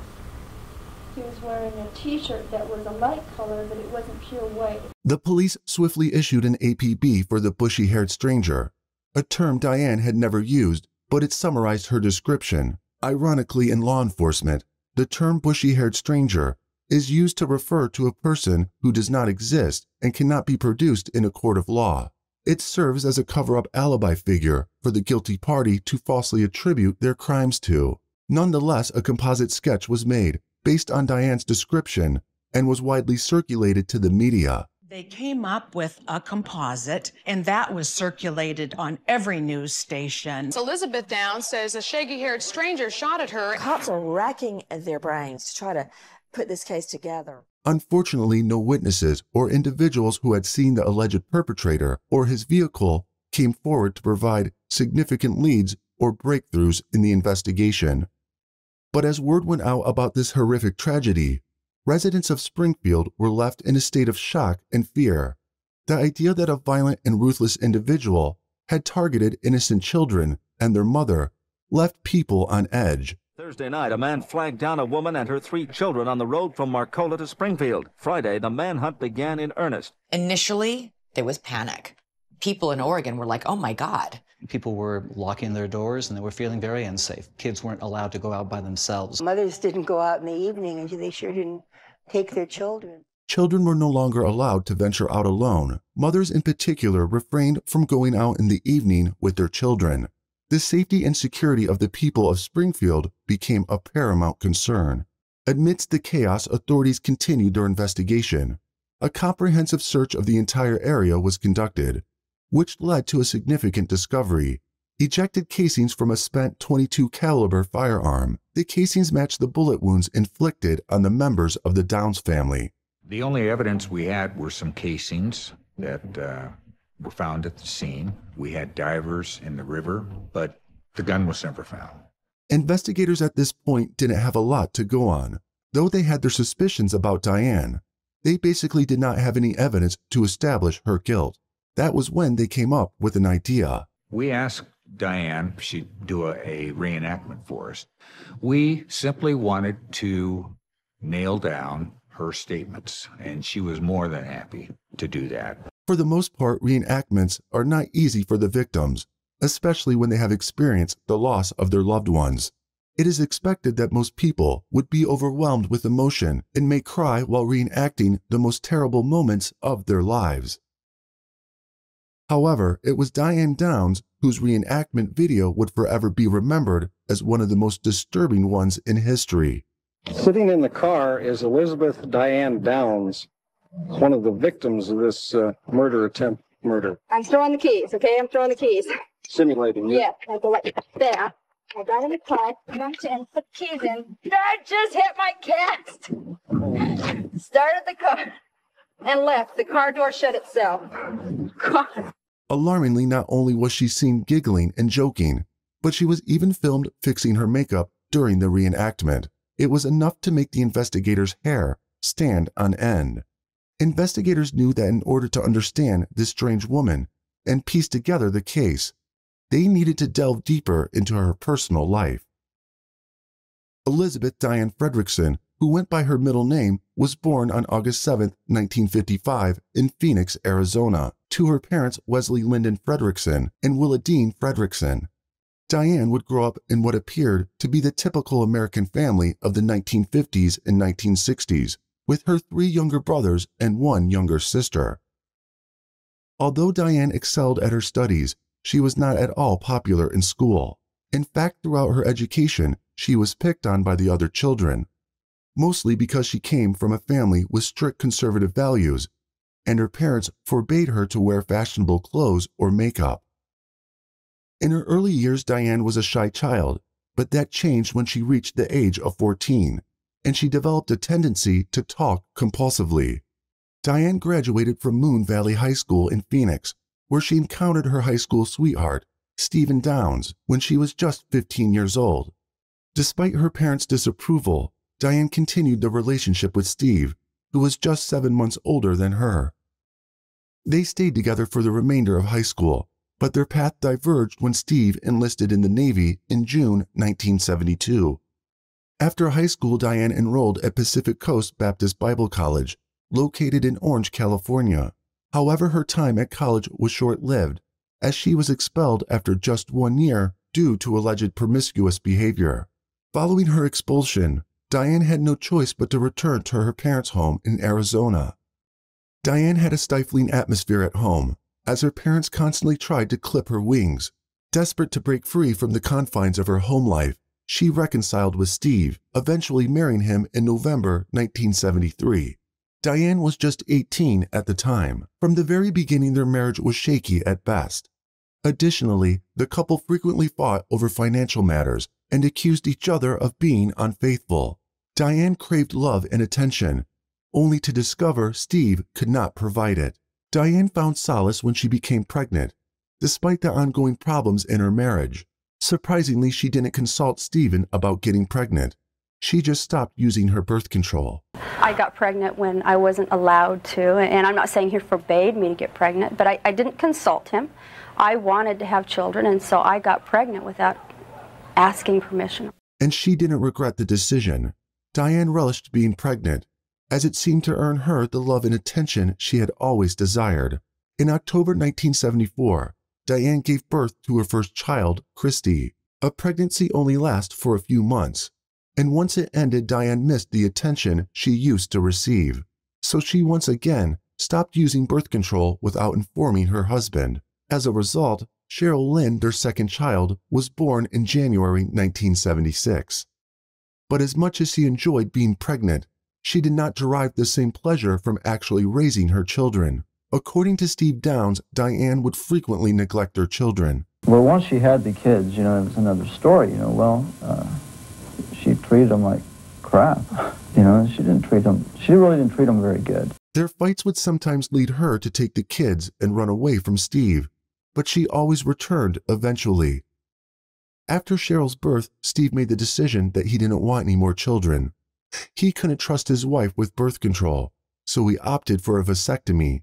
However, despite this procedure, Diane ended up getting pregnant again, but she chose to terminate the pregnancy. In 1978, the couple relocated to Mesa, Arizona. It was there that Diane engaged in multiple affairs with her coworkers.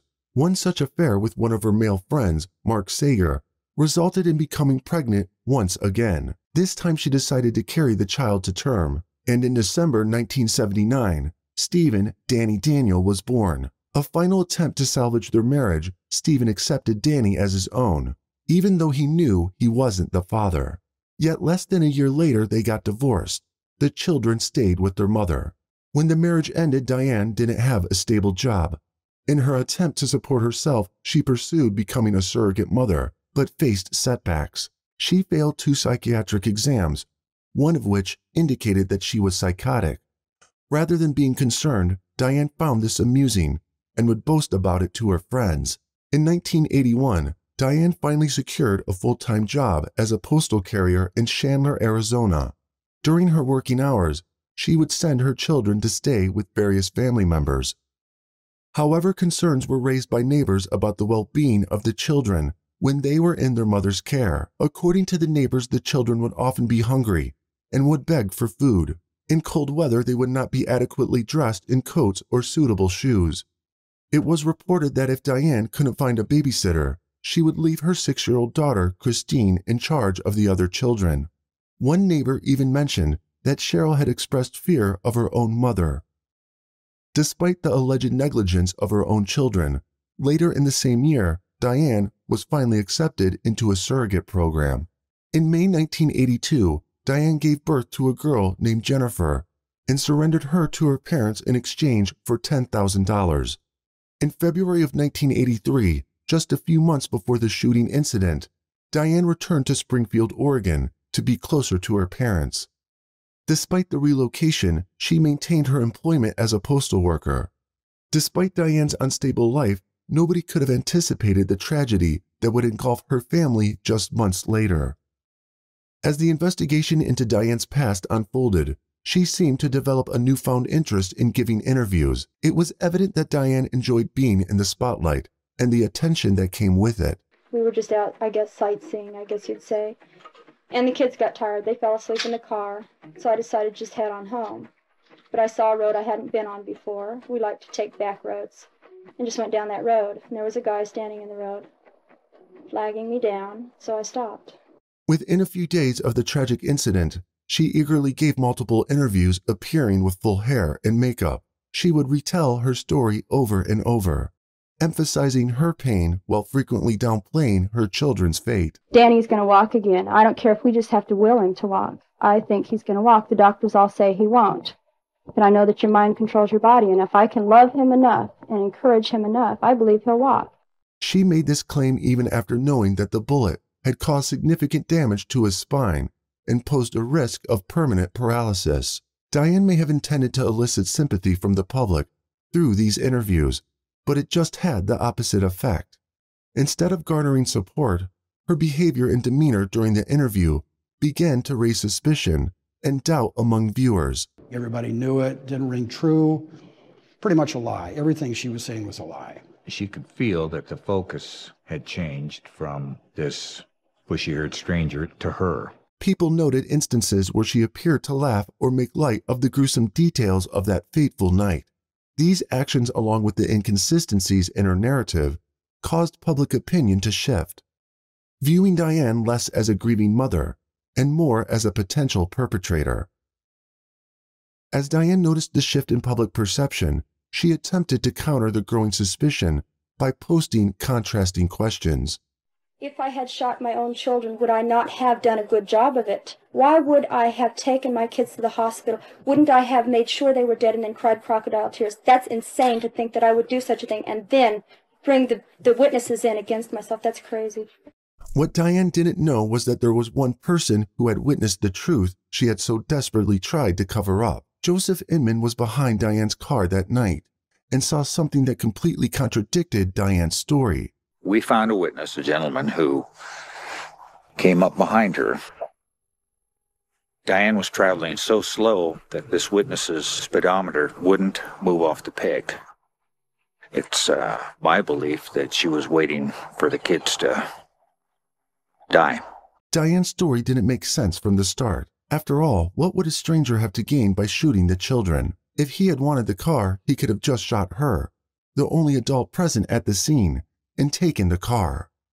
Furthermore, the forensic evidence pointed towards a different scenario. Bloodstains were found on the side door of the front seat where Cheryl had been shot and on the rear seat where Danny and Christine had been hit, but there was no blood on the driver's side. If Diane had been shot as she described, it would be expected for her to instinctively grab the wound with her other hand, resulting in blood being present on her hand and the steering wheel. Additionally, the location of the gunpowder residue indicated that the shooter was likely seated in the driver's seat, casting further doubt on Diane's account. However, there was one interview that Diane Downs would give in November 1983 that would send shockwaves throughout the nation. People couldn't believe the level of narcissism displayed during the interview with reporter Ann Yeager for KEZI News.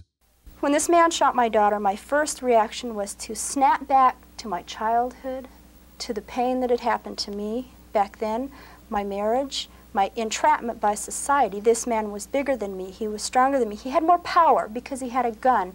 He was in control and I was not. And I had, there was nothing I could do. And I stood there and I looked at Christy reaching. And the blood that just kept gushing out of her mouth. And, and I, what do you do? In a shocking audacity, she even stated that her kids were luckier than her and made jokes about it. Everybody says you sure were lucky. Well, I don't feel very lucky. I couldn't tie my damn shoes for about two months. Needless to say, it was a surreal experience for the viewers as they witnessed firsthand the depths of Diane's self centeredness and lack of empathy. The lack of trust and suspicion surrounding Diane Downs went far beyond the media and law enforcement.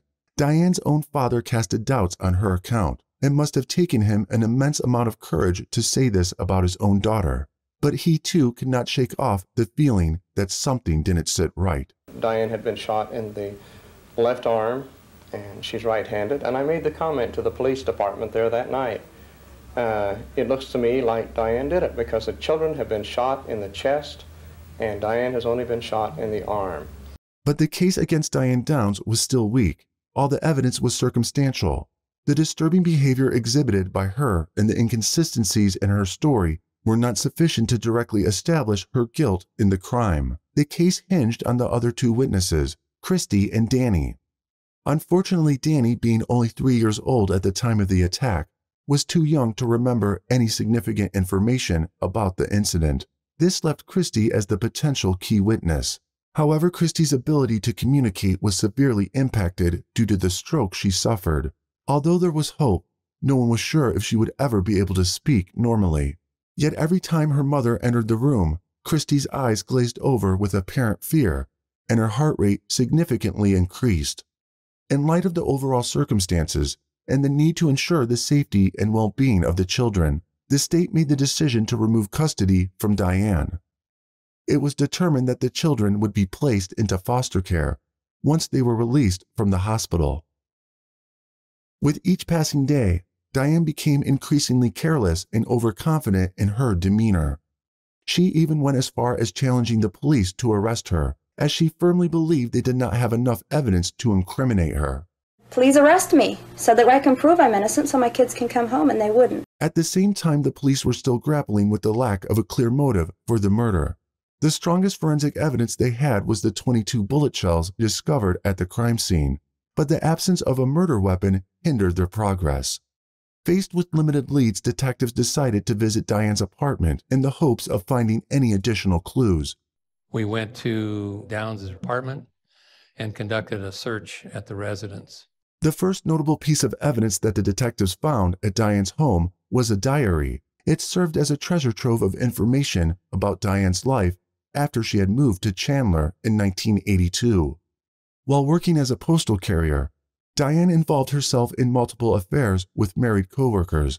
One of them, however, would alter the course of her life permanently. In July 1982, Diane Downs began an affair with Robert Knickerbocker, a fellow coworker who was married to a woman named Charlene. At the time, he was having problems with Charlene and was looking for a distraction.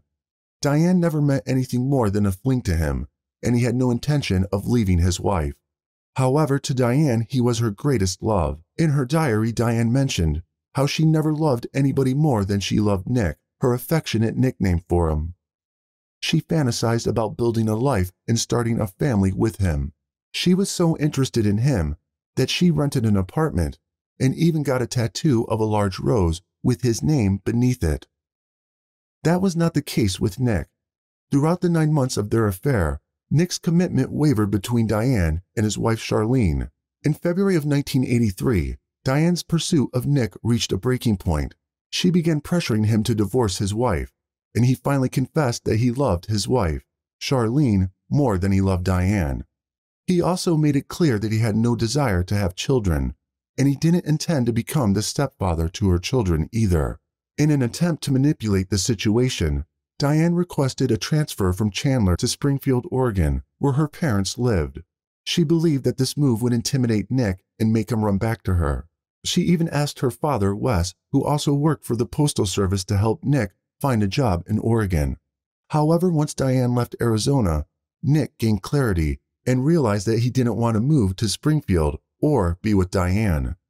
He decided to stay with his wife and refused Diane's mail and calls, marking the definitive end of their relationship. Despite the end of the relationship in April of 1983, Diane's infatuation with Nick continued to consume her thoughts and writings. She expressed her longings for him, both physically and emotionally. Even after everything, she held onto the hope that he would eventually come back to her. Surprisingly or not surprisingly, her lingering feelings for Nick did not stop her from sleeping with other men, beginning just seven days after her arrival in Springfield. When the police searched her home, they found that Diane had kept two of Nick's pictures with her own pictures on top of the television, but there were no pictures of the kids. The detectives made an observation that Diane seldom wrote about her children, Christy, Cheryl, and Danny, in her diary.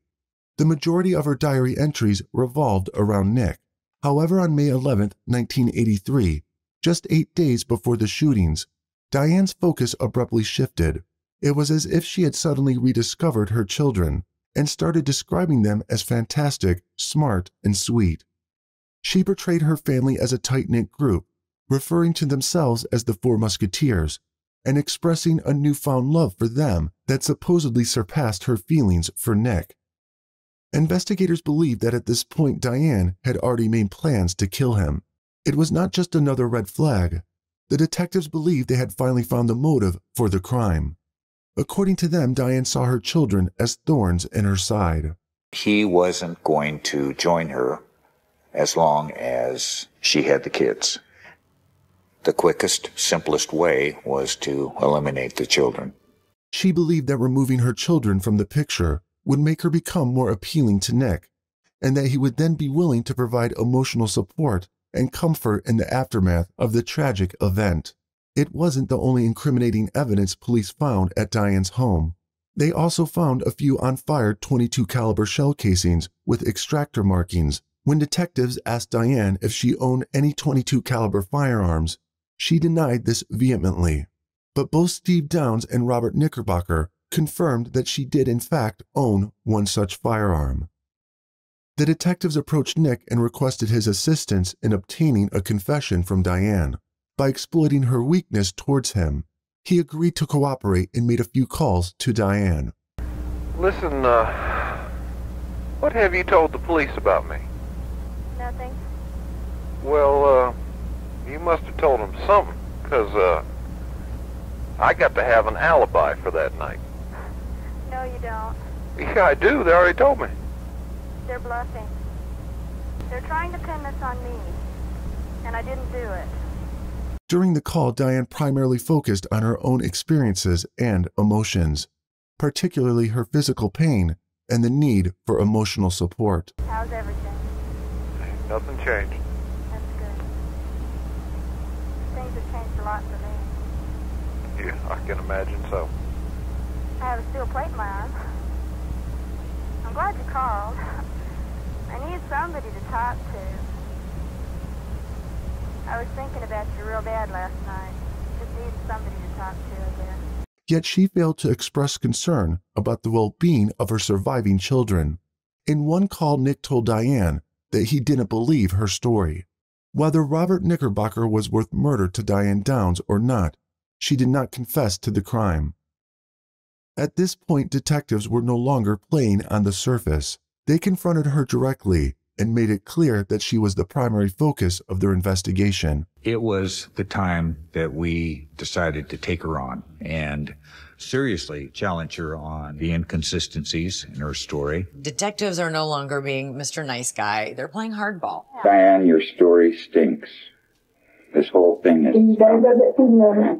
It stunk from the beginning. I'm fine. Realizing that sarcasm wouldn't save her, Diane changed her story. She claimed that there was no bushy haired stranger, but instead it was two men wearing ski masks who attacked her and her children. According to Diane, the men knew her as they called her by name. Talked to you, referred to you by name, and also referred to your tattoo. Right. As close as you can remember, what did he tell you? If you say anything about what happened here, that they'd come back and kill me. Throughout a two hour period, the detectives relentlessly probed her for the truth, and as they neared the conclusion, her frustration reached a boiling point. I'll make you a deal, okay? Next time I remember something, yeah, you can find the guy yourself, because I know I didn't do it. And you can chase your little tails for the next 20,000 years if that's what it takes. You don't like my help, you can get You're real confident in this stuff, aren't you? I know that I didn't do it. Come on, Diane. It's your turn at bat. Since you guys seem to think that I should have brought Diane with me, I will get her myself. Because I know who did it. You do know who did it. Yes, I do. I damn sure do. it. You know him by Yes, name. I, yes, I do. Yeah. You saw him shoot your kid. Yep. Pretty important. And I saw him grab my arm and yank my arm out and shoot my arm and say, now try to get away with it. The tape ended with Diane storming out of the sheriff's office, unable to put up with the questions. And I'm leaving because I know who did it. Bye. The time is now 1746, and Diane is just departed the office. We're concluding the tape. A month passed after the shooting. The pressure was mounting on law enforcement to make an arrest. By the beginning of 1984, police had gathered all the evidence pointing towards the prime suspect, Diane. However, they eagerly awaited Christie's recovery, as she was the only person who could provide them with a first hand account of what truly transpired. Christy would be a key witness uh, in this trial, but she needed to be healthy enough uh, physically and emotionally to be able to take the stand. Christie's healing process was slow but steady, and she eventually regained her ability to speak. Despite her initial fear, with the help of therapists working tirelessly with her for months, Christie mustered the courage to eventually reveal the truth. It was a truth that would put an end to all the speculations surrounding the case. Confirming what many had already suspected, Christie unequivocally declared that her own mother, Diane Downs, was the one who shot her and her siblings on that fateful night. On February 28, 1984, nearly nine months after the shooting, Diane was finally arrested. She's been charged with uh, one count of murder, two counts of attempted murder, and two counts of assault in the first degree. Diane pleaded not guilty to all charges, and thus the case proceeded to trial. However, Diane Downs was not one to go down so easily. When her trial commenced in June 1984, she shocked the nation by appearing visibly pregnant, leaving everyone speechless. As it turned out back in October of 1983, while working as a postal carrier, Diane seduced a young teacher and ended up becoming pregnant. Diane said she felt lonely without her children. I got pregnant because I miss Christy and I miss Danny and I miss Cheryl so much. I'm never going to see Cheryl on earth again. And I just, you can't replace children, but you can replace the effect that they give you. And they give me love, they give me satisfaction, they give me stability, they give me a reason to live and a reason to be happy. And, and that's gone. They took it from me. But children are so easy to conceive. The prosecution, however, saw it as Diane's way of gaining sympathy. The trial of Diane Downs became a national spectacle, with hundreds of people lining up each day in hopes of securing a seat in the courtroom. Though cameras were not allowed inside the courtroom, the media closely followed the trial. The jury was comprised of nine women and three men. The trial lasted a month. The prosecutor, Fred Hugi, had a solid case against Diane. The evidence against Diane appeared insurmountable. Along with the bullet casings and blood spatter, Hugi called upon a number of witnesses, including Heather Plourd, Joseph Inman, Stephen Downs, and Robert Knickerbocker. They all testified against Diane. Defense attorney Jim Jagger made every effort to present Diane Downs' version of events, emphasizing the involvement of a bushy haired stranger. Diane herself took the stand and reiterated her story, staunchly maintaining her innocence. However, she struggled to provide a convincing explanation for the inconsistencies in her account. Diane also testified that she had been physically abused by her father on multiple occasions, which impacted her future decisions a disturbing claim that Diane's family denied. The jury viewed this claim as a lie intended to invoke sympathy, and Diane's family denied the allegations as well. The most anticipated witness of this trial was Christine Downs. With utmost bravery, then nine year old Christy, still suffering with a speech impediment, took the stand to recount the night of May 19, 1983. Who shot you? My mom. Christie's recollection of the events on May 19, 1983, was vivid and haunting. She remembered the moments leading up to the shooting, including visiting Heather Plourd. Christy and Danny occupied the back seat. while Cheryl sat in the front passenger seat. Christy recalled that after a few moments into the ride, the car was pulled over to the side of the road, and her mother, Diane, exited the vehicle. She saw her mother going to the back of the car and retrieved something from the trunk.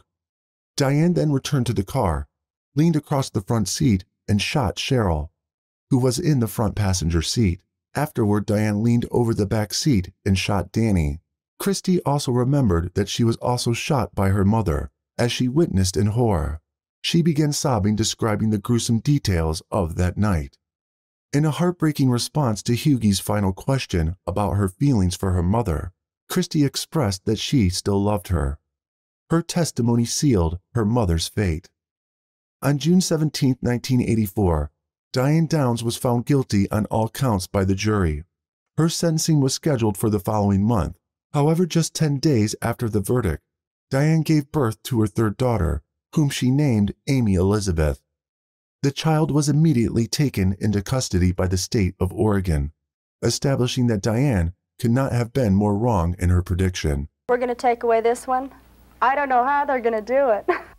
what if the, I, I'd like to see them try to take this baby from me. And how?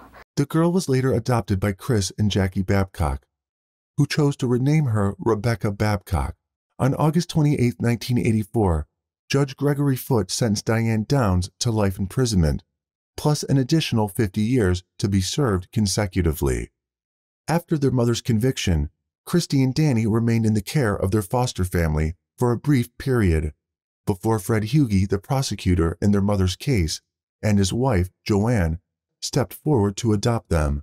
Recognizing his own limitations and the challenges posed by raising two children with physical and emotional trauma, Steve Downs made the difficult decision to step aside as their father. The saga of Diane Downs was expected to be confined within the walls of the prison, but she was determined not to serve her time quietly. Diane continued to give interviews to whomever wanted to talk to her, while still stressing her innocence. I can sit here with a clear conscience and know that I did not shoot my kids. On July 11, 1987, a highly unexpected event unfolded when Diane Downs managed to escape from the Oregon Women's Correctional Center in Salem. I recognize it to be a shirt belonging to Diane Downs. Convicted murderer Diane Downs left behind her ripped blouse, evidence of her struggle to break out of the maximum security facility. She accomplished this daring feat by scaling an 18 foot razor wire fence, cleverly disguising herself with multiple layers of clothing. Uh, at that location, the perimeter fence is not alarmed, uh, is alarmed, but the interior fence is not. I would not consider it a, an effective deterrent. Um, and that's essentially how she got out. She went up and over the single perimeter fence. This triggered one of the most extensive manhunts ever conducted in the state of Oregon. Downs was dropped off at this family restaurant about one mile from the correctional facility. Police believe she then traveled on foot into town. Reports of Diane sightings flooded in from all over Oregon and the Northwest as the public remained vigilant. It would take 10 days before she was eventually located, during which time she could have potentially fled across the country to any unknown destination. Astonishingly, she had been hiding less than half a mile away from the prison, living with another married man, the husband of a fellow inmate. Ironically, Diane would later claim she escaped to find the bushy haired stranger. I wanted revenge at that time. I, I wanted to do some really obscene things to his body. Diane received an additional five year sentence for the escape. Best selling crime author Ann Rule penned the book Small Sacrifices in 1987, providing a detailed account of Diane Downs' life and her murder trial. The book gained significant attention and interest from readers. In 1989, a made for TV movie, also titled Small Sacrifices, was produced based on Ann Rule's book. The movie starred Farrah Fawcett, who portrayed Diane Downs, and it was broadcasted on ABC, further capturing public interest in the case. He shot my kids. He shot them over and over. And I keep hearing the gun. Then he shot me. In 1998, Ann Rule and Diane Downs made an appearance on The Oprah Winfrey Show, during which Diane directed criticism and taunts towards Ann for how she portrayed her life in the book. The Diane Downs story. Have you read that book? Uh, yes, I have. And what do you I think? take issue. I take issue with much of it. Okay, okay. What do you take issue with? Well, she considers it a true story, and she's quoted me all through the book and tells the reader how I'm feeling, what I'm thinking at various times, all through the book. Yet she's never interviewed me. How does she do that? How does she justify that being a true story? In 1989, Diane wrote a book titled Best Kept Secrets, in which she provided her own account of the shooting. In classic Diane Downs fashion, she portrayed herself as a victim of the state of Oregon. In the mid 2000s, Rebecca Babcock, the youngest daughter of Diane Downs, reached out to her birth mother. Throughout most of her life, Rebecca had kept her distance from the tragic reality of her birth. However, in 2005, after placing her own baby up for adoption, she started to empathize with her mother.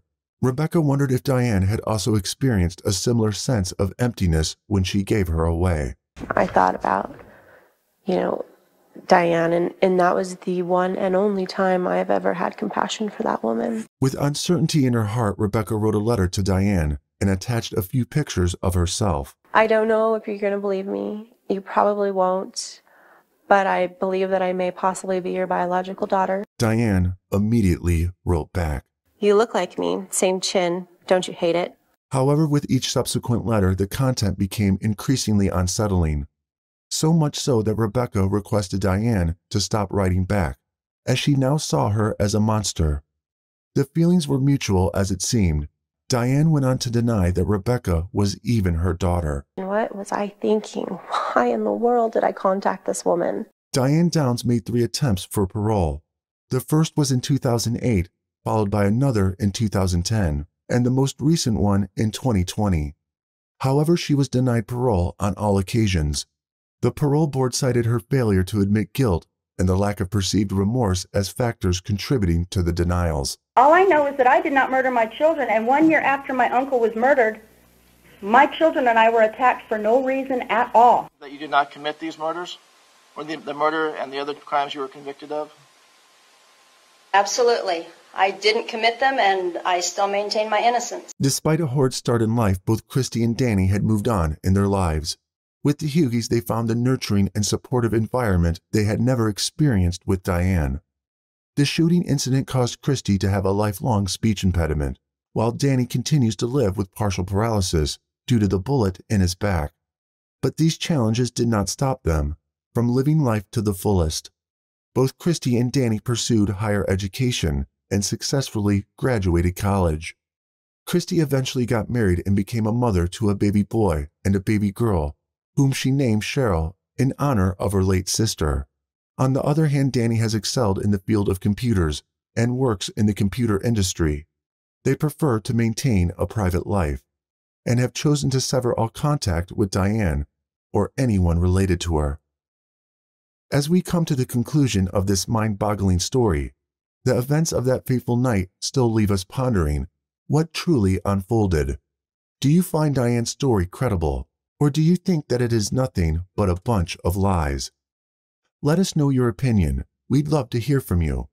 If you would like us to cover a case, please drop your recommendation in the comments section. Like, share, and subscribe to our channel for more gripping true stories like this. She was not herself. She was so confused. And she looked into the camera with this intense look on her face, like, What do you want from me? There was nothing in her eyes. There was no personality there. It was like a zombie. Let us travel back to October 22, 1984, in Tulsa, Oklahoma, where the city was left in disbelief as 18 year old Annette Craver vanished without a trace. The police, determined to unravel the truth, scoured the area, but their efforts were in vain, and the whereabouts of the teenage married girl remained a haunting mystery. While the mystery of her disappearance loomed large, the police suspected that it wasn't just a simple disappearing act, but a terrifying case of homicide. This situation was considerably more twisted than initially apparent. A man was at the center of it all, and his twisted mindset would triumph over the quest for justice for an incredible 54 years, until justice finally succeeded. What could have happened to young Annette? Who was this psychopath? And why did it take so long to unravel the truth behind this haunting case? As we delve into this chilling case, We will also lead you through two other haunting mysteries intricately connected to this story. Tulsa, Oklahoma is a captivating city with a unique blend of modernity and tradition. Nestled in the heart of the United States, this metropolis offers a dynamic lifestyle enriched by its diverse cultural scene. Tulsa is renowned for its well-preserved Art Deco architecture, thriving performing arts scene, and mouth-watering Oklahoma-style barbecue joints. Additionally, the city holds fame for a significant history in oil production and proudly stands as the birthplace for the iconic Route 66. Despite its successes, Tulsa has had its struggles with crime. In 2020, the city's violent crime rate surpassed the national average, elevating it to one of the cities with some of the highest crime rates in the U.S. Adding to the city's darker side, Annette Craver's mysterious disappearance also occurred within Tulsa. Born on December 7, 1965, in Houston, Texas, Annette Michelle Craver's early years remained relatively shrouded in mystery. However, a significant turning point occurred when her father tragically lost his life in a car crash in 1979. The heartbreaking event took a toll on Annette's emotional well being. Her mother, Mary Rose, observed a notable change in Annette's behavior, noting that she grew increasingly withdrawn and often sought solace in solitude. She spent a lot of time alone she was always writing poetry and drawing, picked up the guitar. Deep within her heart, Mary held the understanding that her cherished daughter had been grappling with immense difficulties following the loss of her father. Annette, I'm sure, missed her dad more than I realized. I even asked her one time if she thought she needed to see someone to talk, and she said, No, Mom, I'm fine. On September 8, 1981, a significant event occurred as Mary orchestrated a yard sale in Houston to part with her late husband's belongings. Annette, then 15 years old, actively assisted her mother in the sale. Despite her silence regarding her feelings, it was evident that Annette was far from having moved past the profound loss of her father. Kind of solitude and isolation concerned Mary. But Mary didn't realize that Annette wasn't actually feeling lonely. Unbeknownst to Mary, Annette had been involved with a man whose charm was coupled with a significant age gap. He was not only older than Annette, but even surpassed her mother's age. It was during the yard sale that Mary had her first encounter with Annette's friend, 40 year old Felix Vale. As he approached Annette to engage in conversation, observing the notable age difference, Mary remained unsuspecting, never entertaining the notion that something more was going on. I may have seen him on his motorcycle. He was just another customer. In the aftermath of Annette's father's demise, Mary grappled with the weight of financial hardships. The task of securing employment in Houston proved elusive, prompting her to consider relocating in pursuit of better opportunities to provide for her daughter. Following a series of challenges, Mary's determination bore fruit as she secured a job offer in the state of Oklahoma. However, a significant concern remained. Annette, who had already missed two years of school, was on the verge of graduating high school Mary understood that relocating abruptly to a different state could jeopardize her daughter's academic process. Faced with this dilemma, Mary opted for a solution. She reached out to a friend seeking assistance in caring for Annette while she made the move to Oklahoma to secure employment. While the plan initially appeared sound, it soon began to unravel for Mary. As time passed, a growing concern emerged. Annette and Felix's relationship seemed to have intensified in her absence. Mary couldn't shake off her unease as she observed the 40 year old man becoming increasingly intertwined in her underage daughter's life, a situation that deeply troubled her. She did mention in letters that Felix stopped by, but I didn't know that there was intimacy. And then I learned that Felix made many, many visits. I regret that I left, and she even said to me in a letter, I feel like you abandoned me.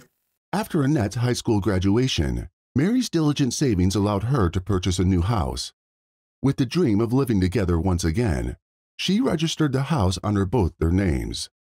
However, upon her return to Houston, Mary discovered that Annette had already left, dashing her hopes of a long awaited reunion. My gosh, why didn't I do this differently? All the decisions I made that I would do differently now. Mary learned that when Annette graduated, Felix swiftly proposed a road trip to her, and captivated by his charm, she readily agreed to his proposal. Over time, in 1983, Mary did receive sporadic letters from Annette, each from a different location. Then, one day a call arrived from her daughter, who was then in California. Mary felt a surge of joy hearing from Annette, but the conversation soon took a stressful turn. Annette, who was just 17 back then, sought her mother's approval to marry Felix Vale. Said, why don't you wait till you turn 18? This is a big mistake. She said, I love him, Mom, and we'll go to Mexico and get married. Knowing that there was a chance of losing her daughter, who was deeply involved with Felix, Mary struggled with the difficult choice that lay ahead. It was clear that saying no would come with its own consequences, yet arriving at a choice was far from straightforward. I trusted her, and I didn't know he was a bad guy, so I fell for it. With a heavy heart, Mary ultimately made the difficult choice to allow Annette to marry Felix. However, the idyllic married life that Annette had envisioned would soon begin to crumble. Shortly after their marriage, Annette confided in her mother through heartfelt letters. She revealed that Felix had undergone a troubling transformation, turning increasingly controlling. Shockingly, she shared that Felix had even coerced her into undergoing an illegal abortion, following her pregnancy with his child. Consumed by fear for her daughter's well being, Mary implored Annette to return home without delay. Eventually, in 1984, Annette found the courage to break free from Felix's hold and found her way back to her mother. However, upon laying eyes on her daughter, Mary couldn't help but recognize that her beloved daughter had changed. She was not herself. She was so confused. When we were painting the downstairs and she looked into the camera with this intense look on her face, like, What do you want from me? I think she was just overwhelmed with the way he had tried to control her and mess with her mind. Amidst the changes, Mary felt comforted by reuniting with her daughter. However, this joy didn't last long. Soon after Annette came back, their happiness was disrupted. Felix's constant phone calls started tormenting their home, with him insisting on speaking to Annette. Undeterred, Mary stood her ground, determined to shield her daughter at any cost. However, in October 1984, the situation escalated when Felix managed to breach the boundaries of Mary's home one day, boldly entering without consent and approaching Annette directly. The two spent a period in Annette's room and discussed matters privately, and when they finally emerged to face Mary, they would say something that would devastate her. Then they approached me and said, We want you out of the house. Despite the heartbreak, Mary made attempts to mend the situation with Annette, but her efforts were in vain. Annette remained firmly under Felix's influence, impervious to any other perspective. Thus, with a heavy heart, Mary relinquished her share of the house, gathered her belongings, and moved to California. However, that was not the end of the nightmare. As Annette reached the age of 18, she took a significant step by accessing the inheritance left by her deceased father. Shockingly, she allegedly transferred all the funds into Felix's account and also transferred ownership of her house to his name. Upon learning of this alarming development, Mary wasted no time and immediately contacted Felix. What he told me was that he put her on a bus and that she was going to Mexico. I hung up and called the police and filed a missing persons report. On October 22, 1984, upon receiving the missing person report, the Tulsa police swiftly approached Felix Vale in an attempt to obtain any possible information. Regrettably, much like Annette, the police too fell victim to Felix's manipulation. Mary strongly suspected that Felix played a crucial part in Annette's disappearance and was hiding the truth. However, despite her convictions, the police were swayed by Felix's words, leading them to abandon the search for Annette Craver Vale. They believed Felix. He convinced them that she had left on her own. After I wrote to the DA, they didn't respond, so. Left with no options, the mother found herself in a state of helplessness, clinging to a resolute belief that her daughter would one day return. Yes, I wanted to believe she was alive. I waited and waited. I sat by the phone and I kept waiting for a call. Christmas, her birthday, my birthday, Mother's Day. I would stay close to a phone on those days in those early years, thinking this is it. This is the day she's going to say, Hi, Mom. By 1991, a staggering seven years had elapsed with no breakthrough in locating Annette. Mary tried to reach out to the police by sending them hundreds of letters, but neither the police nor the FBI was interested in responding to her. Even the letters she sent to Felix were left unanswered. Mary came to the stark realization that relying on others would yield no results. Driven by her determination, she resolved to undertake an investigation on her own. Convinced that Felix held a key to Annette's disappearance, Mary initially attempted to gather information about him through the fledgling resources of the internet. Yet during the 1990s, online information was far from abundant. Through her unwavering research, Mary managed to secure a solitary but significant lead Felix's sister, Sue Jordan. Fueled by hope and the prospect of uncovering crucial information, Mary embarked on a journey that spanned halfway across the country to meet with her. She told me that Felix had a wife who had drowned. Armed with this startling revelation, Mary swiftly managed to trace the family of Felix's first wife, Mary Horton Vale, in Louisiana during 1993. Her efforts bore fruit as she successfully located Mary Horton's brother, Will Horton, who had been merely 15 years old at the time of his sister's tragic drowning in the Calcasieu River. A lady calls me and says, You don't know me, but Felix Vale married my daughter, and she's missing. And I said, Oh my God. During Mary's meeting with Will, he fondly recalled his sister as a kind and virtuous individual, speaking of her in glowing terms. My sister was so very special, so thoughtful, kind. However, the sentiment wasn't reciprocated when it came to his brother in law, Felix Vale. Will shared that the Horton family held a distinct resentment towards Felix. Born on February 16, 1940, in Eunice, Louisiana, Mary Elizabeth Horton Vale's roots trace back to the southern state. In 1957, she was crowned a Eunice High School homecoming queen and took on the role of the editor for the school newspaper. Her path crossed with Felix's when she was pursuing her education at McNeese State College in 1960. Remarkably, a mere six months after their initial meeting, in July 1961, the two exchanged vows in marriage. Their union bore fruit, as in 1961 Mary welcomed a son into the world, named Bill Vale. However, Felix had a different opinion. My sister radiated over that baby. This was part of the dream. You go to school, you go to college, and you have a family. With the arrival of their baby, Felix's demeanor underwent a notable change. Similar to his later behavior with Annette, he adopted a controlling attitude towards his first wife.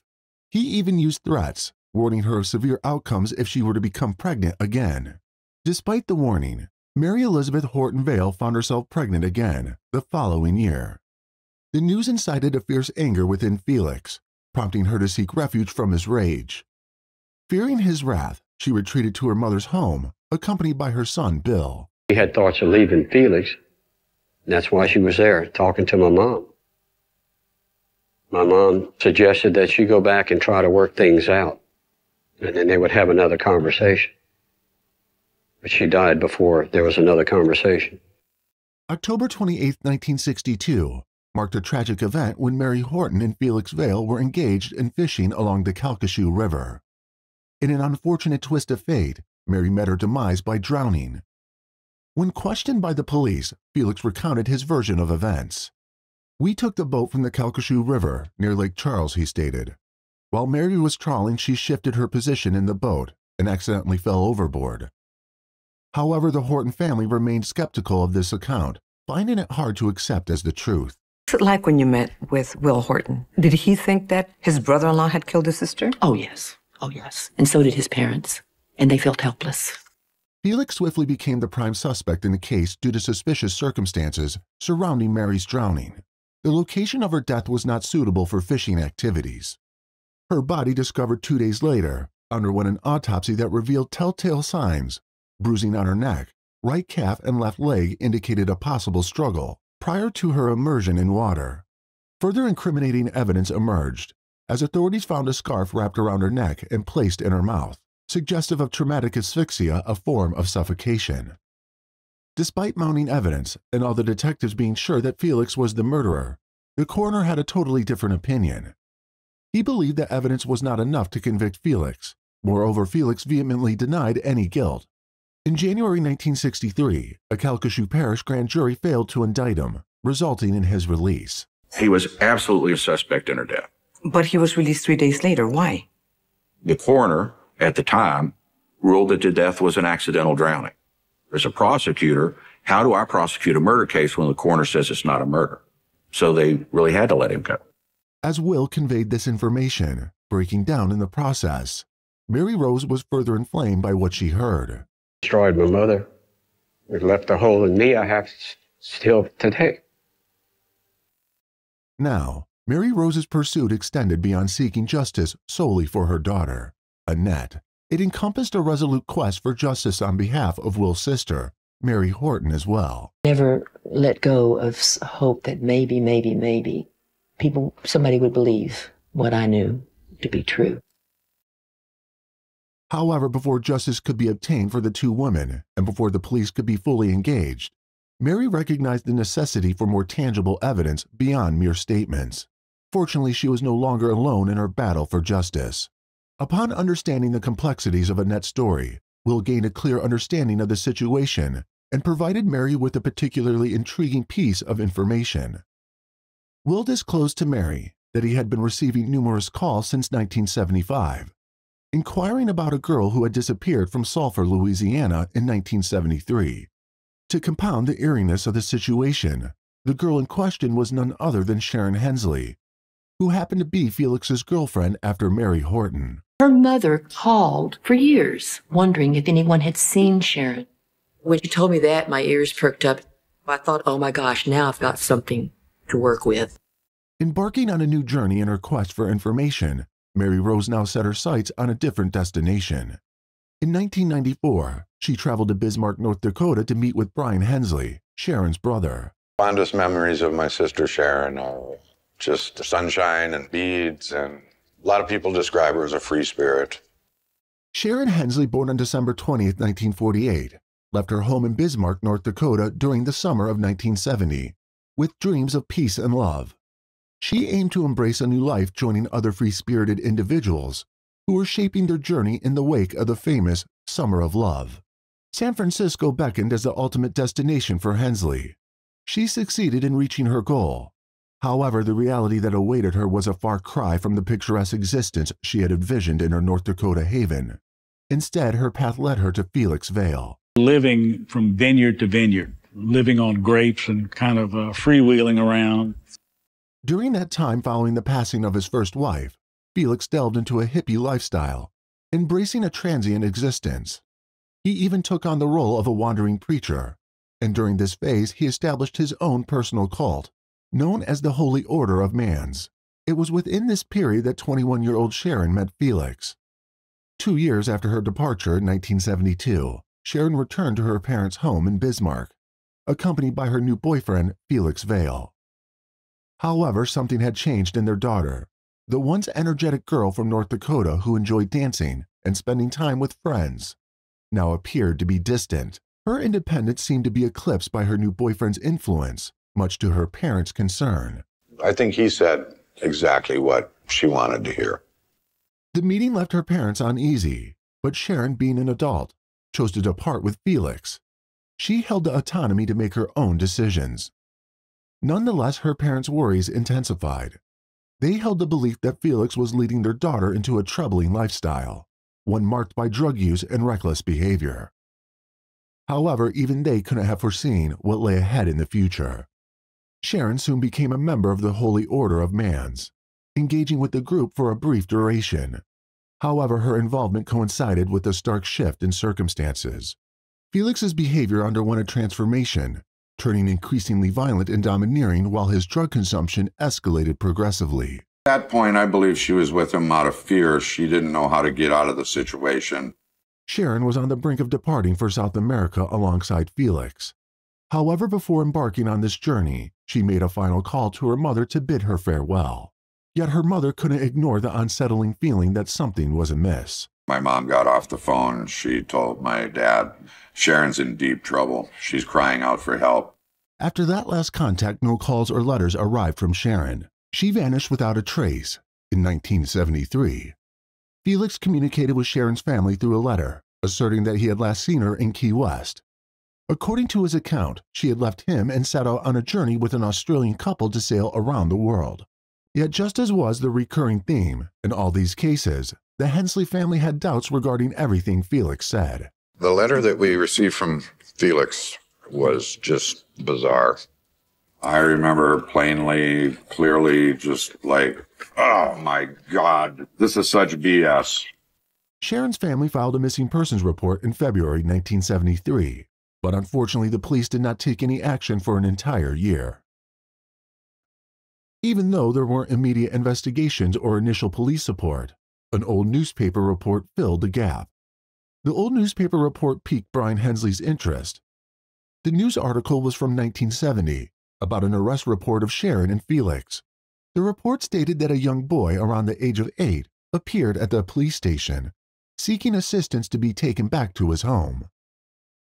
The child turned out to be none other than Bill Vale, the son of Mary Horton and Felix Vale. So Bill went no shoes, no socks to the police station and said, My daddy's making me smoke marijuana and he'd take LSD and I want to go home.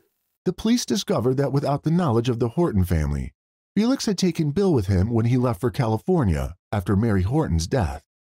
From that point on, Bill was compelled to accompany his troubled father wherever he went. The police also learned that Bill had suffered from violence during this time until he managed to run away and find his way to the police station. Felix and Sharon were arrested for child endangerment. However, how the two got free is not known. Upon learning from Sharon's brother, Mary Rose resolved to meet with Bill Vale. She believed that Bill had valuable information about Felix's location, making him a potential source of crucial details.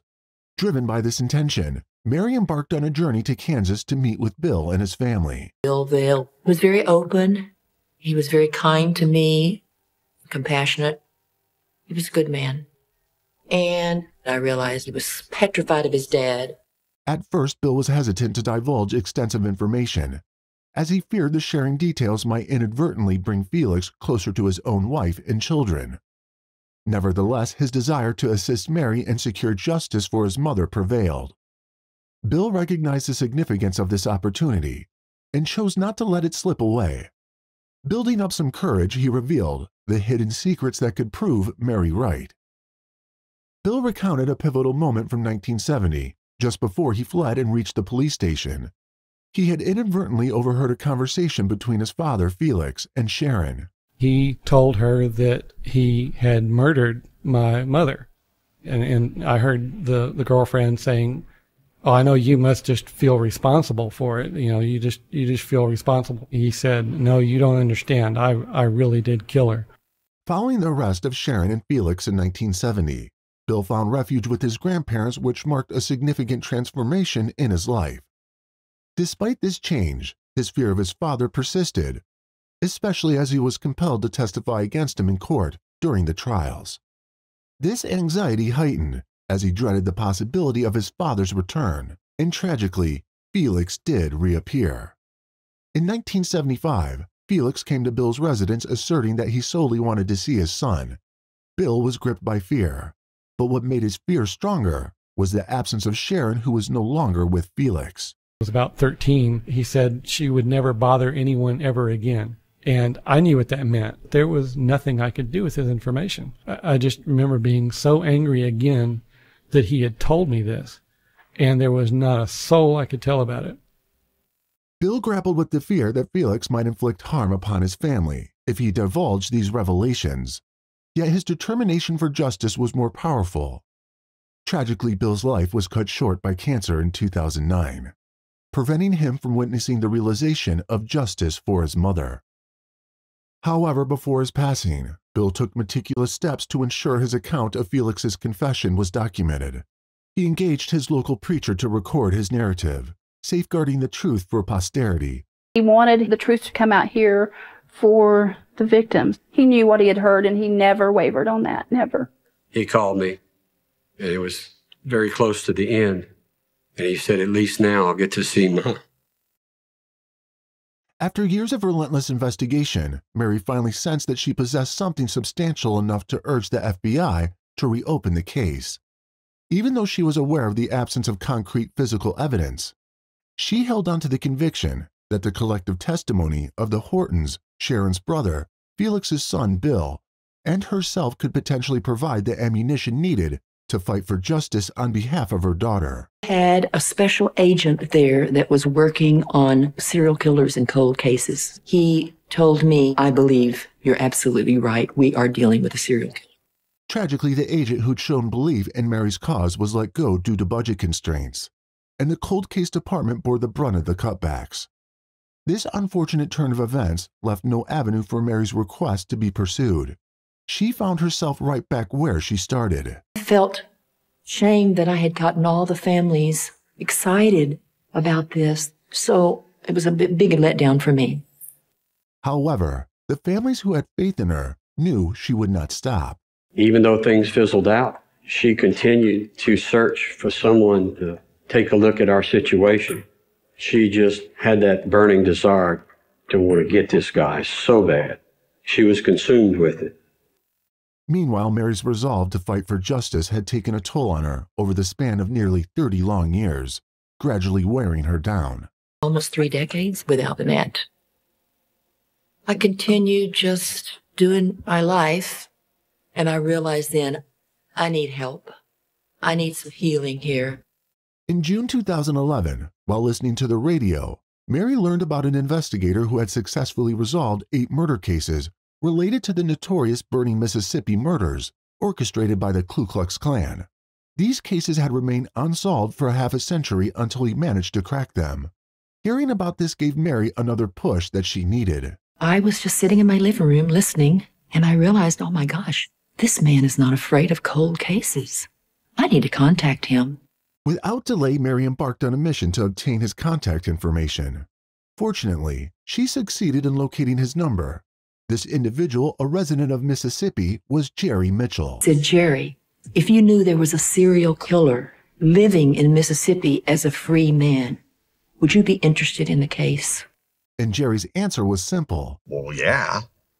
And so she proceeds to tell me about Felix Vail. After briefing Jerry on the case, Mary discovered that Felix had relocated to Mississippi.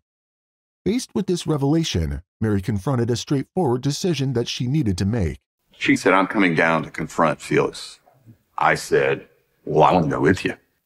In 2011, the two of them journeyed to Mississippi and arrived at the pivotal location a secluded and desolate trailer park. By now, I'm starting to get kind of suspicious about, you know, where is he? Is he watching? You know, I'm, I'm thinking along those lines.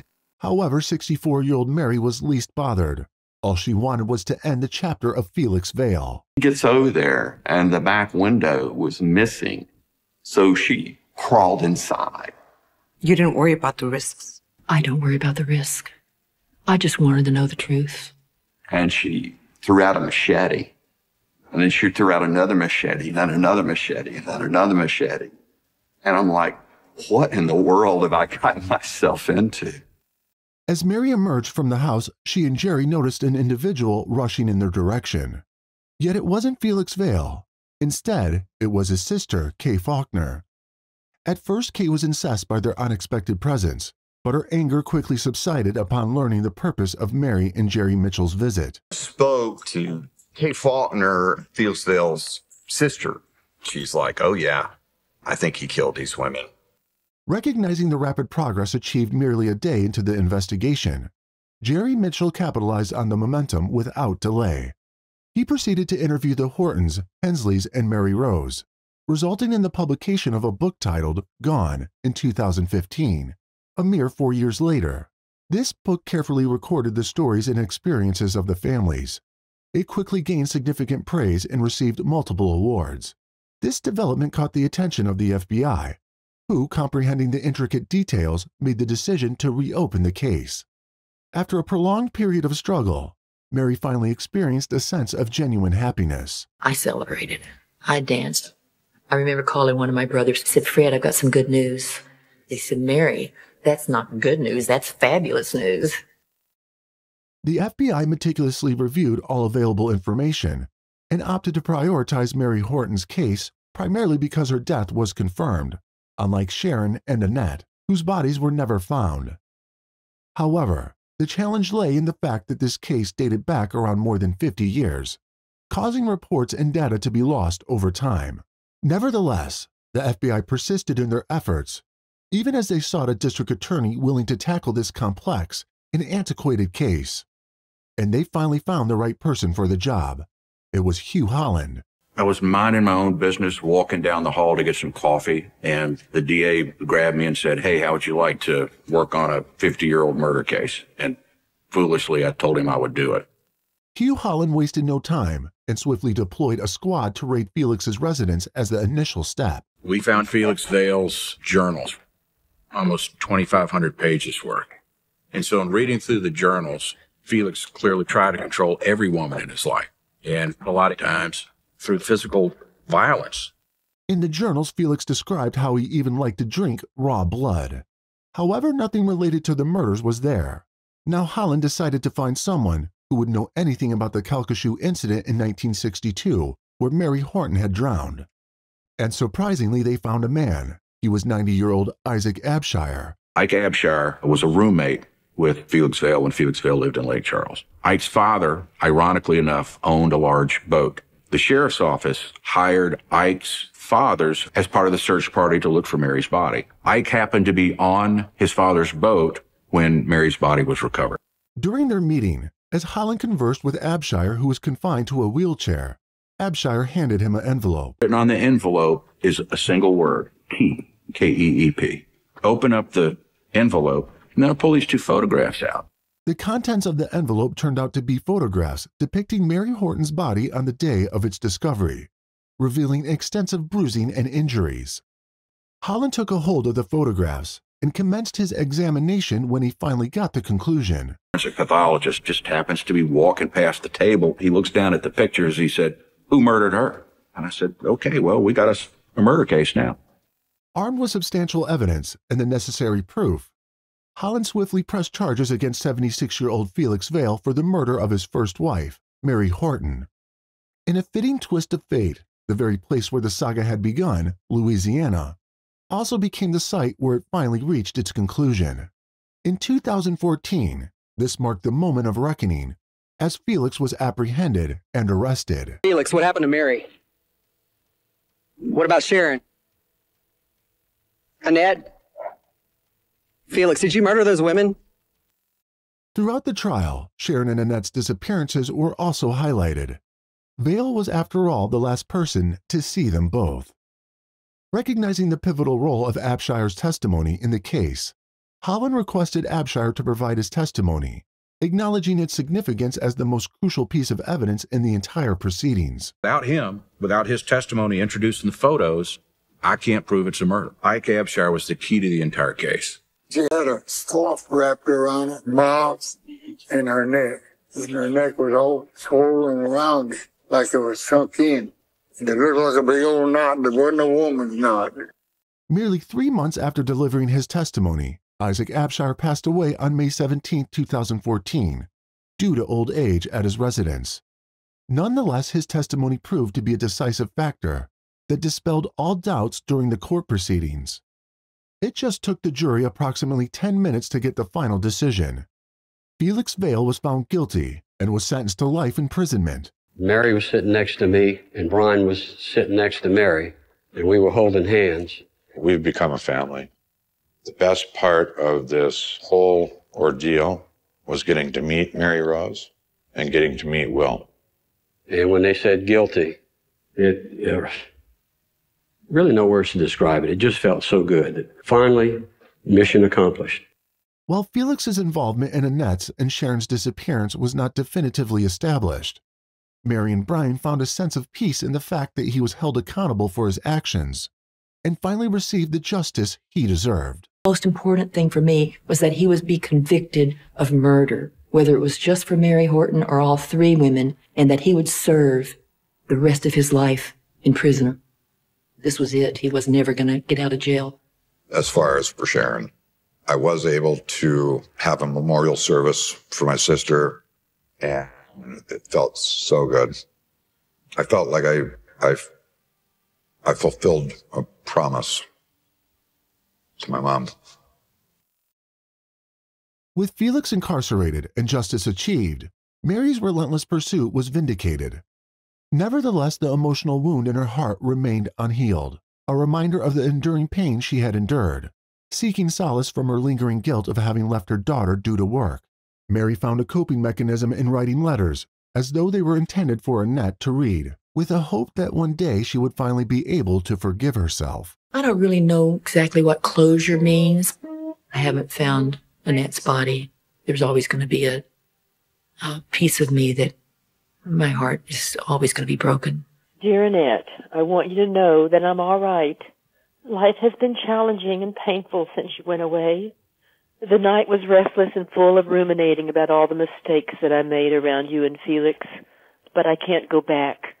I finally and with gratitude can weep thinking of it all. So sad that maybe my choices would have made a difference and saved your precious life. I feel like I've been suppressing tears for so many years as I've kept myself busy trying to find justice. But now the tears are flowing and they feel heavy and deep and old and very salty as though I've been holding them inside for all this time and and now they can come out and I can weep and feel sad and it's okay. It's okay. So, what are your thoughts on this case? What could have Felix done to Sharon and Annette? Share your thoughts. We'd love to hear from you. This is the most horrific crime that I had ever seen. The case that cannot be forgotten. Oh, God. On August 28, 2014, 32 year old Timothy Ray Jones Jr. committed an unthinkable act. Now, this next case is very unique, both in terms of its details and the legal question on mental illness. In their family mobile home on South Lake Drive in Red Bank, New Jersey, Timothy took the lives of his five children, aged 1 to 8. What could have caused this father to kill his own children? Red Bank is a neighborhood in Monmouth County in the U.S. state of New Jersey. The Navesink River, the region's traditional means of transit to the ocean and other ports, runs through the community, which was incorporated in 1908. Red Bank is a commuter town for New York City and is located in the metropolitan area of New York. The borough has a population of 12,936 as of the 2020 United States Census. It was in this neighborhood that five young children met their end in the most horrific manner in August 2014. Timothy Jones Jr. was born in 1981 to Timothy Jones Sr. and Cindy Jones, who was 16 at the time of her pregnancy. Sadly, Cindy left the house when Jones Jr. was only 18 months old. Following this, Timothy Jones Sr. remarried. Growing up, Jones Jr. faced legal trouble in 2001 when he was arrested in Illinois on charges of possessing cocaine, forging checks, and car theft. Despite being sentenced to seven years in prison, he was released in 2003 after serving just two years. After this, his life seemed to take a turn for the better. He and Amber Kyzer had met as teenagers and they got married in 2004. They soon had three children. Jones continued his education, eventually getting an engineering degree and graduating from Mississippi State University. The young family later moved to Blythewood, seeking better opportunities of life. By 2014, they had five children who were 8-year-old Merah Gracie, 7-year-old Elias, 6-year-old Nathan, 2-year-old Gabrielle, and 1-year-old Abigail Elaine. As time went on, their marriage began to falter, and Jones' behavior changed drastically as he turned to drinking, smoking, and using synthetic marijuana.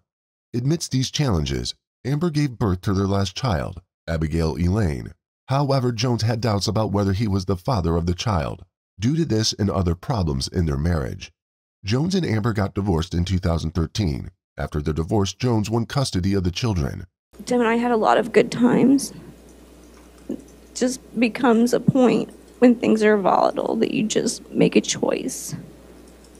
Where your young children aren't seeing certain things, it's affecting them at a point. And you make a choice to separate yourself from that person. And it's hard to separate yourself from that person because that's all you've known. All I knew from 19 was Tim. It was expected that Jones would be the model father and give his all to protect his children. But who could have predicted the horror that would come later? On Thursday, August 28, 2014, Jones picked up his three older children from school and the two youngest from their babysitter. He vanished the very next day. Jones and the children were gone for several days, prompting his family to reach out to the police. But only after they were unable to get in touch with him for several days. At 9:36 a.m. the next day, the babysitter Elk tried reaching him on the phone but received no response. Unfazed, Elk decided to text Jones at 9:38, inquiring about dropping off the youngest children at daycare. Jones responded, "Don't worry about this morning. I'll see you next week." He assured her that the children would return on Tuesday, the day following Memorial Day. Meanwhile, Jones's grandmother, Roberta Thornsberry, desperately tried to reach him from Mississippi, but he declined her calls. On August 30th, Thornsberry grew increasingly concerned and sent a series of texts to Jones throughout the day, finally questioning him at 5:13 p.m. about his unresponsiveness. At 4:54 p.m., Elk gently reminded Jones to bring diapers when dropping off Gabriel and Abigail Elaine on September 1st. Later at 6:15 p.m., he made a call to Elk revealing his intentions to leave South Carolina with the children and start afresh. He asked Elk to clean up his mobile home and offered her whatever she wanted from the things he left behind. At 7 p.m., a call from Amber came in, but Jones didn't answer. Tim, I'm not I'm not calling to argue or anything. I just like the past two or three phone calls you've been like really on the edge. You saying you're like coming off really frustrated or whatever. And I was just concerned about you, so please call. I'm not not calling to argue or anything. His family reached out to the police as they couldn't reach him.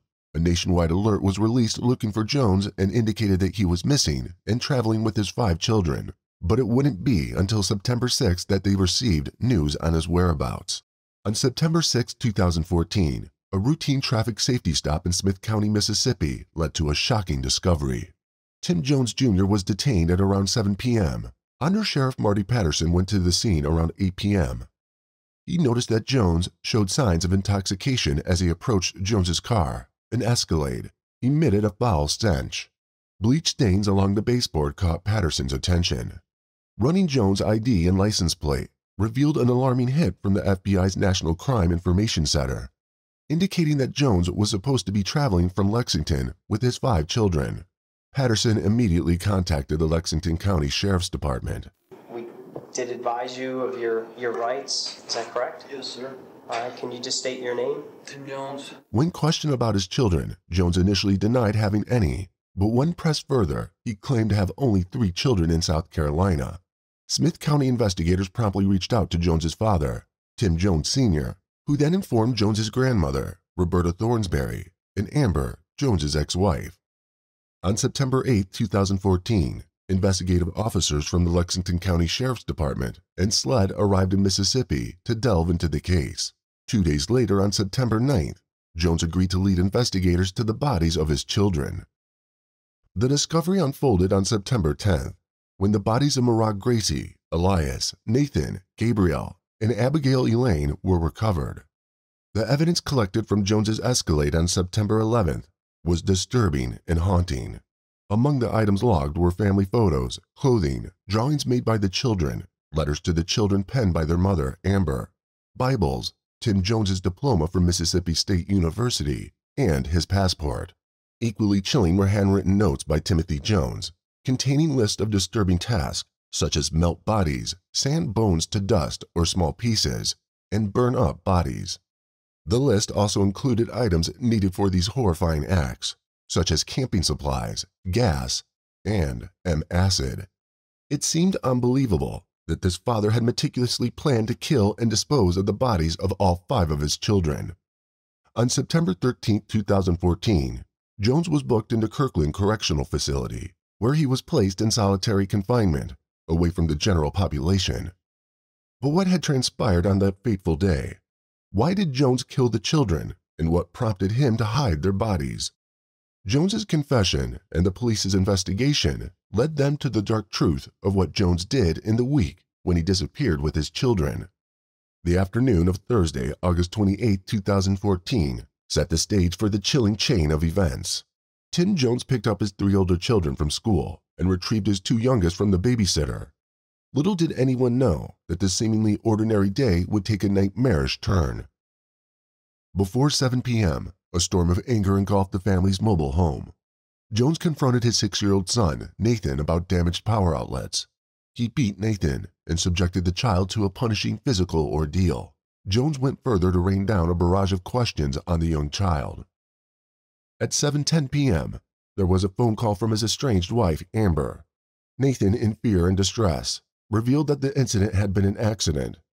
But Jones intervened, accusing Amber of protecting their son before abruptly ending the conversation. As the evening wore on, the darkness deepened. Nathan was sent to bed, and Amber's desperate attempts to reach out went unanswered.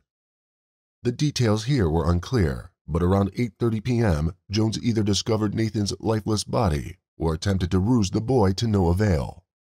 Jones faced the grim reality that his child was gone forever. Jones, seemingly triggered by his own imagination, would later claim to the authorities that Nathan was trying to harm him through the mobile home's electricity. This paranoia pushed him to kill his children.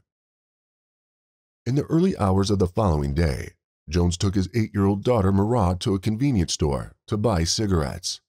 Upon returning home, a wave of violence consumed him. In his confession to the authorities, Jones admitted to choking Murad and Elias, aged 8 and 7, with his bare hands. While using a belt to end the lives of Gabriel and Abigail Elaine, he then wrapped the bodies of his children in sheets and blankets from their beds, before placing them in the back seat of his vehicle. The authorities also went through Jones's search history and revealed an unusual interest in herbal incense and Atlanta.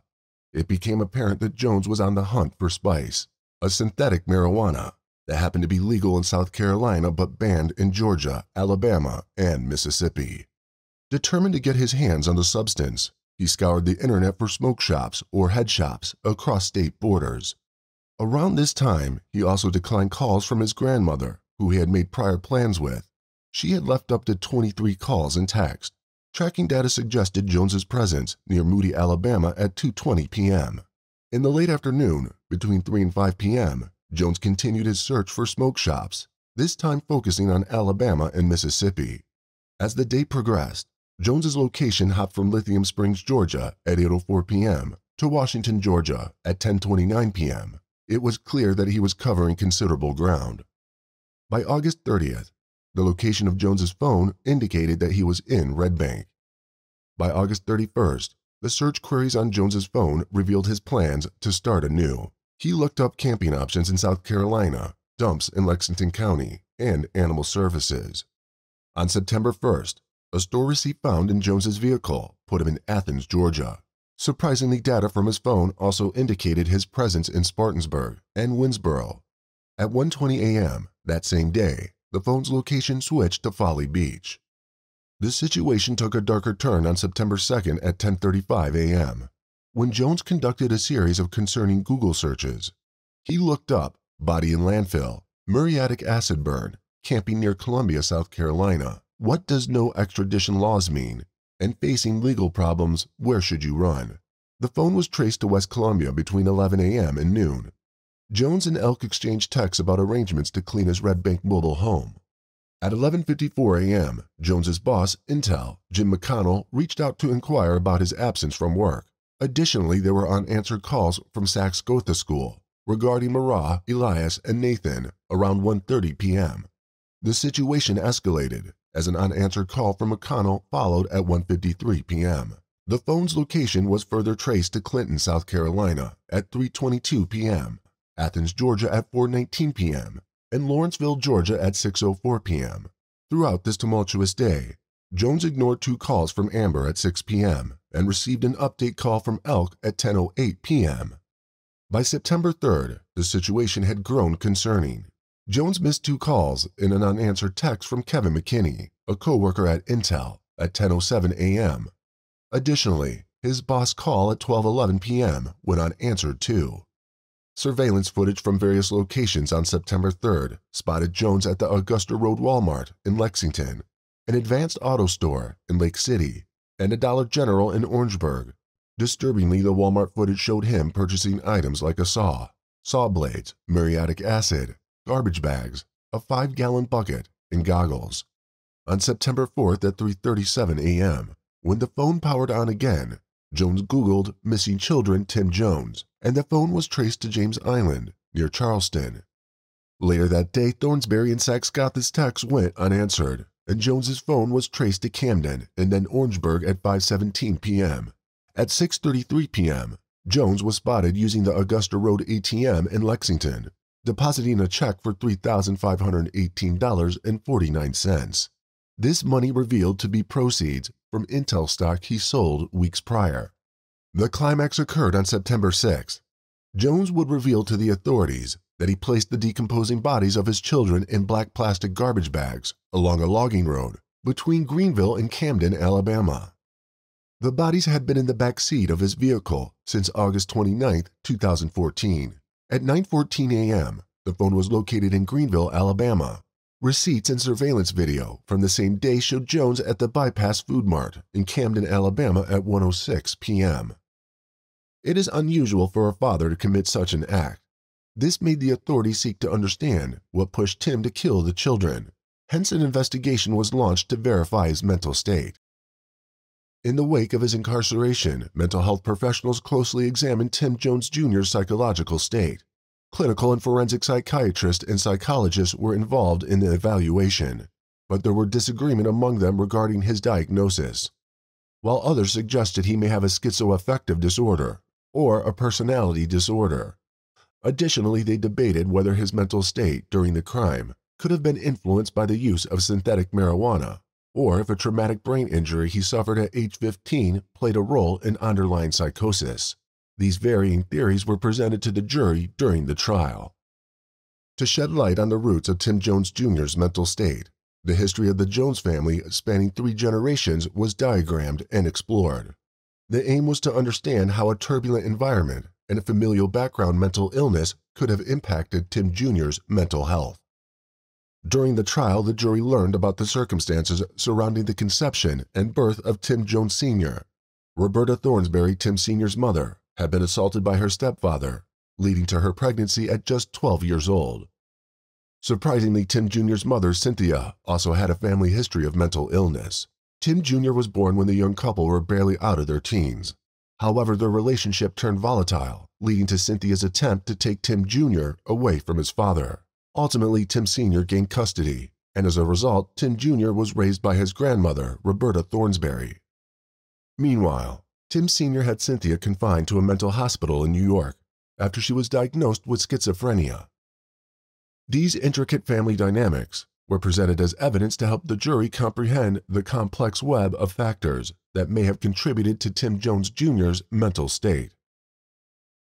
Thornsberry's marriage had its fair share of woes, Numerous incidences of the marriage involved calls to the police for shootings, stabbings, drug possession, and physical and alcohol abuse. The environment seemed anything but stable. As the years passed, Tim Sr. went through multiple marriages, divorcing Cynthia and marrying Carolyn, with whom he had two more sons. By the time Tim was nine, he found himself in a broken family, and as the years went on, he witnessed his father marrying again, this time to a woman called Julie when Jones was 16. Upon his release, Jones met Amber and the two got married. Jones had a strained relationship with his father. This escalated during the Christmas holidays of 2012, leading to 18 months of silence between them. The Christmas holiday of 2012 would be the last time that Jones's father would see the children. The trial commenced on May 15, 2019. Testimonies poured in from various individuals, shedding light on the heinous crime committed by Jones. Law enforcement officials, mental health experts, correctional officers, teachers, school administrators, babysitters, and even Jones's own family members took the stand to present their accounts. From the onset, Jones's guilt was undeniable. He had confessed to the crime and the evidence against him was overwhelming. Despite this, the defense sought to establish that the man was severely mentally ill and thus not entirely responsible for his actions. However, when the jury delivered the guilty verdict, they unequivocally rejected the defense's argument. With guilt established, the focus shifted to determining the appropriate punishment for the murders. During the sentencing phase, the prosecution called on teachers and former babysitters to describe the trauma inflicted upon them by the loss of these innocent children, even though they were not biologically related. Their accounts painted a picture of the impact of Jones's actions on those left behind. The defense did not present experts to bolster their case. But they heavily relied on pleas for mercy from Jones's relatives, who advocated for a life sentence instead of death. Amidst the emotionally charged courtroom, Jones's father and grandmother took to the stand, recounting a disturbed adolescence and adulthood of Jones. Their tearful testimonies, however, firmly opposed the idea of him facing the death penalty. On the following day, Amber Kyzer, the mother of the children and Jones's wife, returned to the stand for a second time in the trial. While her first appearance was marked by tears and visible distress, this time she mustered the strength to request mercy for Jones. I pray for Tim all the time. I pray. I pray for him often. I pray for his family often. I pray for my family. They didn't even have the opportunity to know them. I can't bring myself to want anybody to die. Despite her own feelings of wanting to inflict harm on him, she acknowledged her children's sentiments and believed that they would not have wanted their father to die. I hope for mercy for you. I pray for you often. And I say that without excusing what he's done. She bravely expressed her willingness to accept whatever decision the jury would reach. Solicitor Rick Hubbard delivered the closing arguments for the state in the penalty phase of the Timothy Jones Jr. murder trial. Hubbard confronted the jury, posing a striking question Would you reserve death for the worst of the worst? Isn't he, pointing at Tim Jones, the worst of the worst? Tim Jones, a man who brutally murdered his five children.